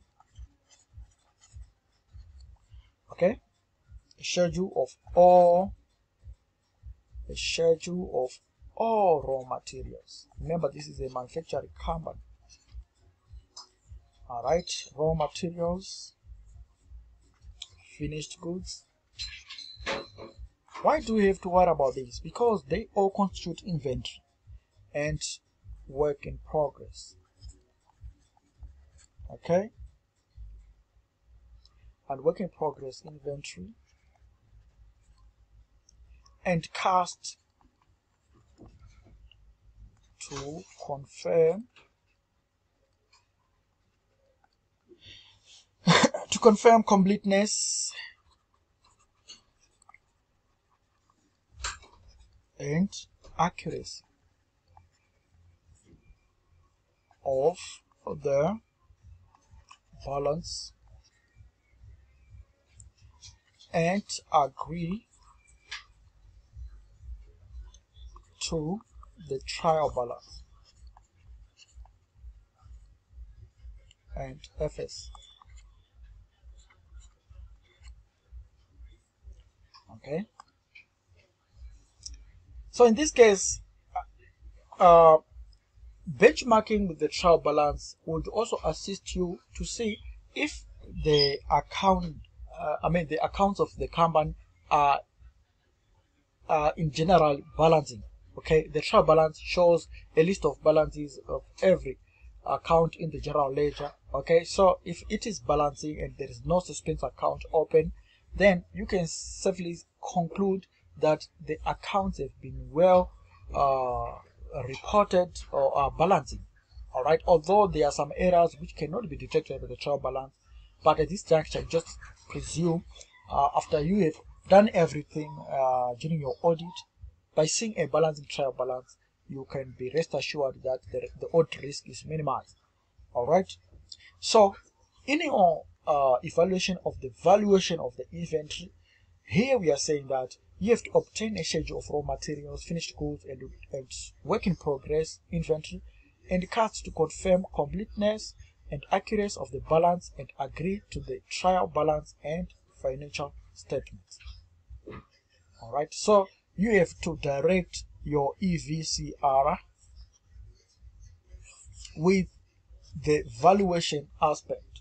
Okay, it has to be directed to the valuation aspect because this is the aspect that is being required. If you simply say, uh, inspect the inventory for existence, that has nothing to do with the valuation of inventory. You need to then uh, modify your procedure to talk of the valuation. So in this case, obtain a schedule of raw materials, finished goods, and uh, work in progress inventory, and cast to confirm completeness and accuracy of the balance the balance is of the value of inventory. The, this balance is the value of inventory. We are talking of the balance, uh, which is the value of the inventory. So you have to agree that balance uh, to the trial balance as well as the financial statements under the current assets, the inventory value under the current asset to see it's actually tally. Then um, another procedure now, ladies and gentlemen, I'm going to speak only three procedures here for the for the benefit of our time, okay, for the purpose of our time. Um, another procedure is uh, obtain a breakdown, a breakdown of uh, work in progress, and agree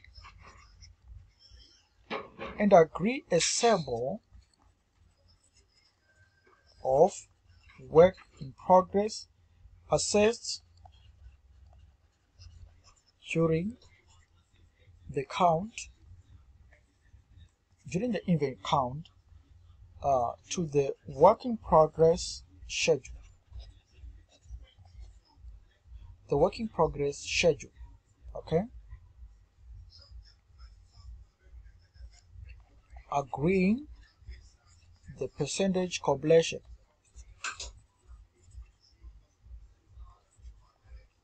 Completion is recorded at the inventory count.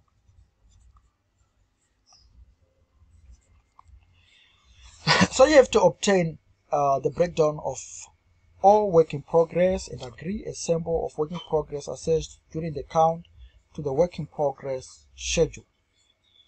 Alright, agreeing the percentage completion as recorded at the inventory Then, uh, what about for those finished goods? For a sample of finished goods, the sample of finished goods. Um, sorry, my my pen is misbehaving. A sample of finished goods, uh, and also and and WIP um, we need to uh, obtain the relevant cost sheets all right relevant cost sheets and confirm raw material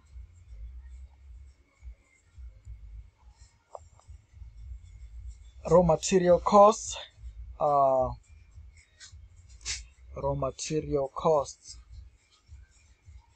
to recent uh, purchase invoices. Remember we want to to to evaluate the valuation of inventory uh, okay? To recent purchase invoices labor costs labor costs uh, to timesheets. Labor costs to timesheets or wage records and overheads allocated uh, and overheads allocated are of uh, production nature. So just have to review. Okay like i said you're not going to originate such a long uh, uh procedure but uh, I'm just I just want to emphasize the issue of uh, critically explaining okay sufficiently explaining your procedure so that the markers will understand what you want to achieve and why you are saying this procedure is okay. All right so for example of finished uh, goods okay? For example of finished inventory or work in progress uh, you need to obtain a relevant uh, the relevant cost sheet and confirm raw material costs to recent purchase invoices labor costs to timesheets or wage records and overheads allocated are of a production nature. Sometimes the overheads will relate to other issues like marketing or distribution costs which could not be part of the uh, cost of the commodity. All right um, there are other uh,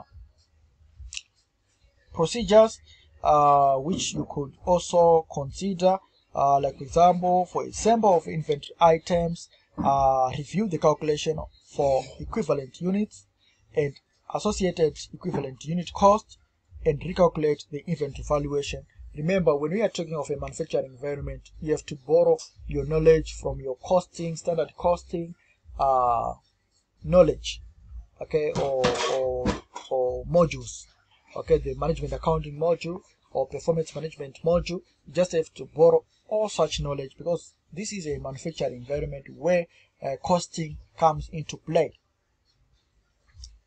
all right uh you need to talk of the uh, NRV issues, the aged, aged listings, etc. Obtain an aged analysis or aged listing, aged inventory listing, uh, for evidence of slow moving stock uh, and to assess if uh, there is need for a write down of inventory right? So select a sample of year-end finished goods and review post year-end sales invoices to ascertain if the net realizable value is above cost uh, or if an adjustment is required.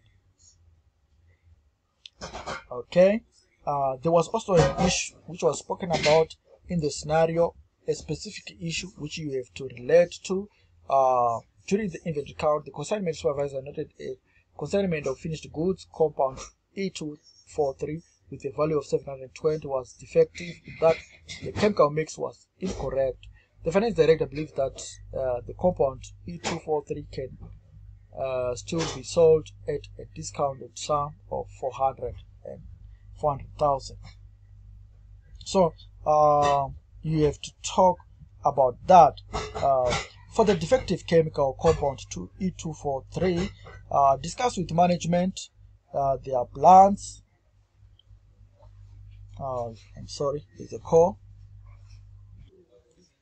So uh, there is need uh, for you as the auditor to um, um, to discuss with the management with respect to the product E243 okay on their plans or I mean for disposing of the goods um, and why they feel or they believe that uh, the NRV of this of this product is 400,000 they you need to get some reasonable uh, facts and in the form of a written representation that managers believe the inventory could could be sold for 400,000 all right if any uh, of the E243 has been sold post year end you have to agree at what value were they being sold by uh, agreeing to the sales invoices to assess if the NRV had actually fallen all right Then you have also have to agree uh, the cost of uh, 720,000 uh, for the compound. This 720,000. Uh, where is my pen now? What's going on? All right. Um, 720 okay you have to agree the cost of the 720 for the compound E243 uh, to supporting documentation to confirm the raw material cost, labor cost, and any overheads attributable to the cost. Because remember, this for 720,000 for the uh, finished good would would also involve the raw material cost, the direct labor cost, and other direct uh, lab, I mean direct costs which could have been attributable to it, for example, overhead. okay, and then um, you can just please do not forget this is actually the very simplest one where uh, you need to uh, review the financial statements disclosures relating to inventory and work in progress to ensure they comply with international accounting standard number two. And you just have to cite uh, an example of such disclosure okay? An example of such disclosure as per IAS 2 for example. An example would be uh, the accounting policy for valuation of inventory whether they are using the FIFO or the average cost in valuing the inventories that's an example of the disclosure that could be required. Also, in respect of the difference between 720 and um, the 720 and is 400, there is a 320,000 uh, write down. Uh, so you, uh, as part of your procedure, you need to confirm if the final, the final adjustment for this product if uh, compound E243 um, it has been uh, written down. Okay? Uh, so you need to determine if the 320 in respect of if the $320,000 in respect of uh, product uh, compound E243 has been written down and you also have to discuss with management if this adjustment uh, has been made and if so uh, you need to uh, follow through the write down to confirm. You need to see the evidence that uh, the value has been written down and the inventory is now being reported as uh, 400,000 okay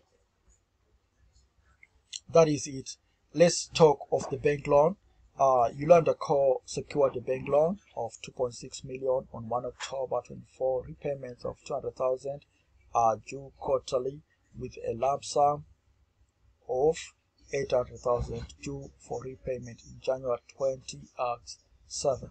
The company made all loan payments in 2005 on time but was late in paying the April and July 2006 repayment. All right. Uh, and our year ends from the question we are told that the year end is 31st July 20x6 all right. And um, the final uh, payment uh, the lump sum is due on 1 January 20x7 which is almost about six months to come. All right six months to come. So what are the substantive procedures to be uh, garnered by the uh, auditor? All right he has to uh, agree the opening balance of the bank loan to the prior year and audit file and financial statements so uh, on the opening balance of the loan you need to actually see if the opening balance tallies with what with the closing balance which was captured in the previous year audit file. Okay? In the previous year audit file. And uh, the financial statements. All right. What the financial statements reported last year is it actually in tally with the opening balance for the loan? All right. Then, for any loan payments made during the year, we need to agree to the cash uh, to the cash book for evidence of a cash outflow. All right, and bank statements. So the bank statements and the cash flow should actually be reviewed for that evidence. So you need to agree uh, the cash outflow to the cash book and the bank statement for evidence of cash uh, of loan repayments during the year, loan payments. Now, you also need to review the bank correspondence to identify whether any late payment penalties have been uh, levied and agreed and agreed these have been charged to profit or loss account as finance finance charges. Alright, they should be accounted for as finance charges. You also have to obtain uh, direct confirmation at the year end from uh, the loan provider of the outstanding balance and any security provided and agree confirmed amounts to the loan schedule and financial statements. So there is need to contact the financier and obtain a comprehensive letter from them um, for any outstanding balances and any security provided. This is why we say that you have to also consider inspecting the loan agreement itself for the terms and conditions attached to the loan. Okay. I reviewed the loan agreement for details of covenants and recalculate the recalculate to identify any breaches in this. Then agree the closing balance of the loan to the trial balance and draft financial statements and that the disclosure is adequate, including any security provided, that the loan is disclosed as a current liability and disclosure is in accordance with accounting standards and local legislation. And you can not, you, you can also uh, get a bit pedantic and uh, tell the examiner that you are referring to IFRS 9 financial instruments. Okay, uh, let's talk of part B. Describe the procedures with the auditor of Elounda Co should perform in assessing whether or not the company is a going concern. These going concern procedures, we know them and we talked about them in our uh, lecture series and also in part of the uh, video which we sent about the uh, audit reporting and uh, uh, subsequent events where we talked of the going concern issues. Alright, okay, for the purpose of this question, uh, the going concern issues which we might, uh, I mean the procedures for the going concern which you might make as an auditor, you can um, obtain uh, Elounda's cash flow forecast and review the cash in and, and out flows the cash in and out flows. Okay, assess the assumptions for reasonableness and discuss the findings with management uh, to understand if the company will have sufficient cash flows to meet liabilities as they fall due.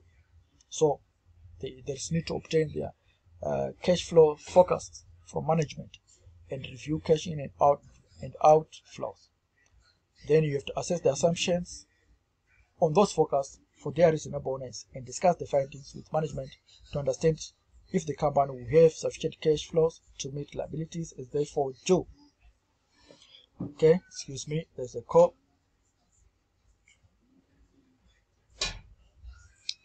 Hello?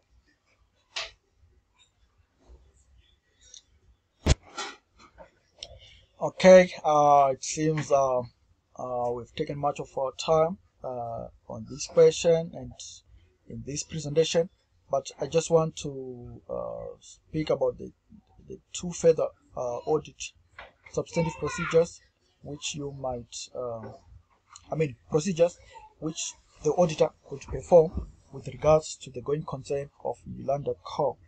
Alright, um, you can also considering uh, discussion with management in respect of their ability to settle the next installment due for the repayment to the bank and the lump sum payment of 800,000 because we are told in the scenario that there is a lump sum that is due within six months of 800,000 that is in January 2087. So you need to discuss their ability to settle that and ensure um, these have been included in the cash flow forecast as well because you know the facts and when you say that uh, management should prepare a cash flow forecast and give it to you you also have to see if those figures uh, those lump sum payments are considered in the forecast. They should appear there.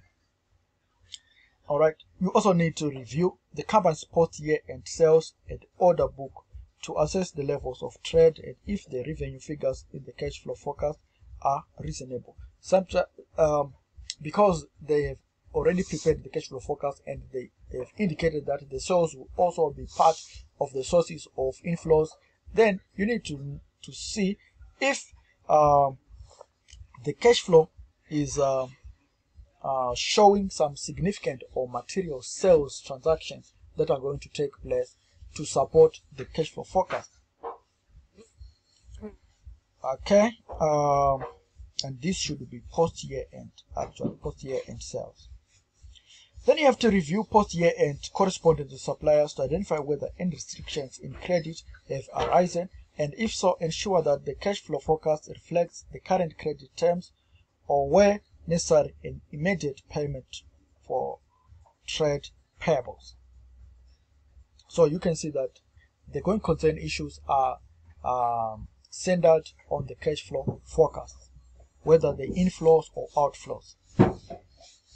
Inquire of the lawyers of Elounda Co. as to the existence of any litigation and claims.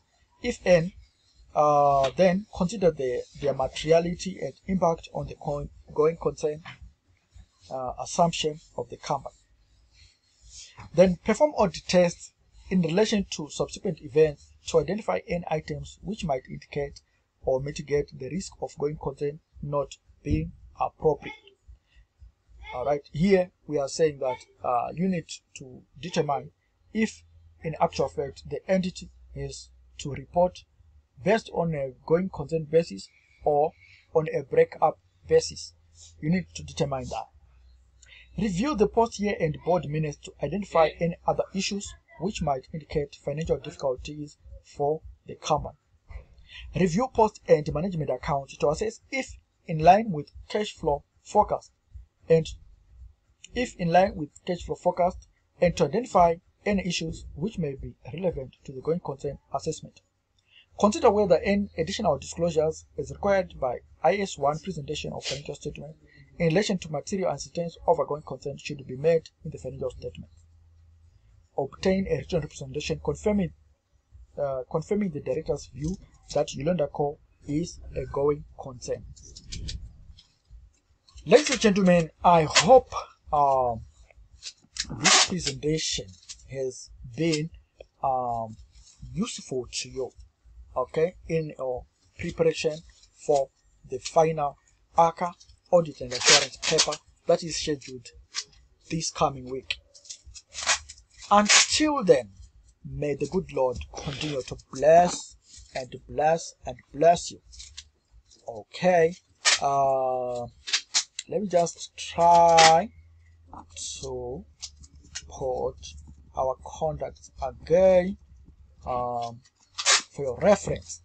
Okay. And uh, please don't forget to reply this video anytime you feel before you enter into that example for the purpose of revitalizing your memory and uh, enhancing or polishing up your the state of your affairs in your uh, in your brains okay in your head in your heart so that on exam day you remember this voice you remember these pictures you remember this presentation as part of your uh, armor to the wall okay it's part of your armor to the wall Alright, so those are our contacts if you feel you need more assistance or further assistance in any other subject which you are going to study. Please consider studying with us. For September, uh, for September 2022 exams, the classes are already rolling and we expect uh, you guys to get in touch with us as soon as possible after the examinations. After examinations, just consider starting uh, studying another module whilst you still have got more time. All right, so that when we reach our August second week, we start our revision, critical revision, so that you sit for your September exams and pass them. All right, so ladies and gentlemen, I am signing out.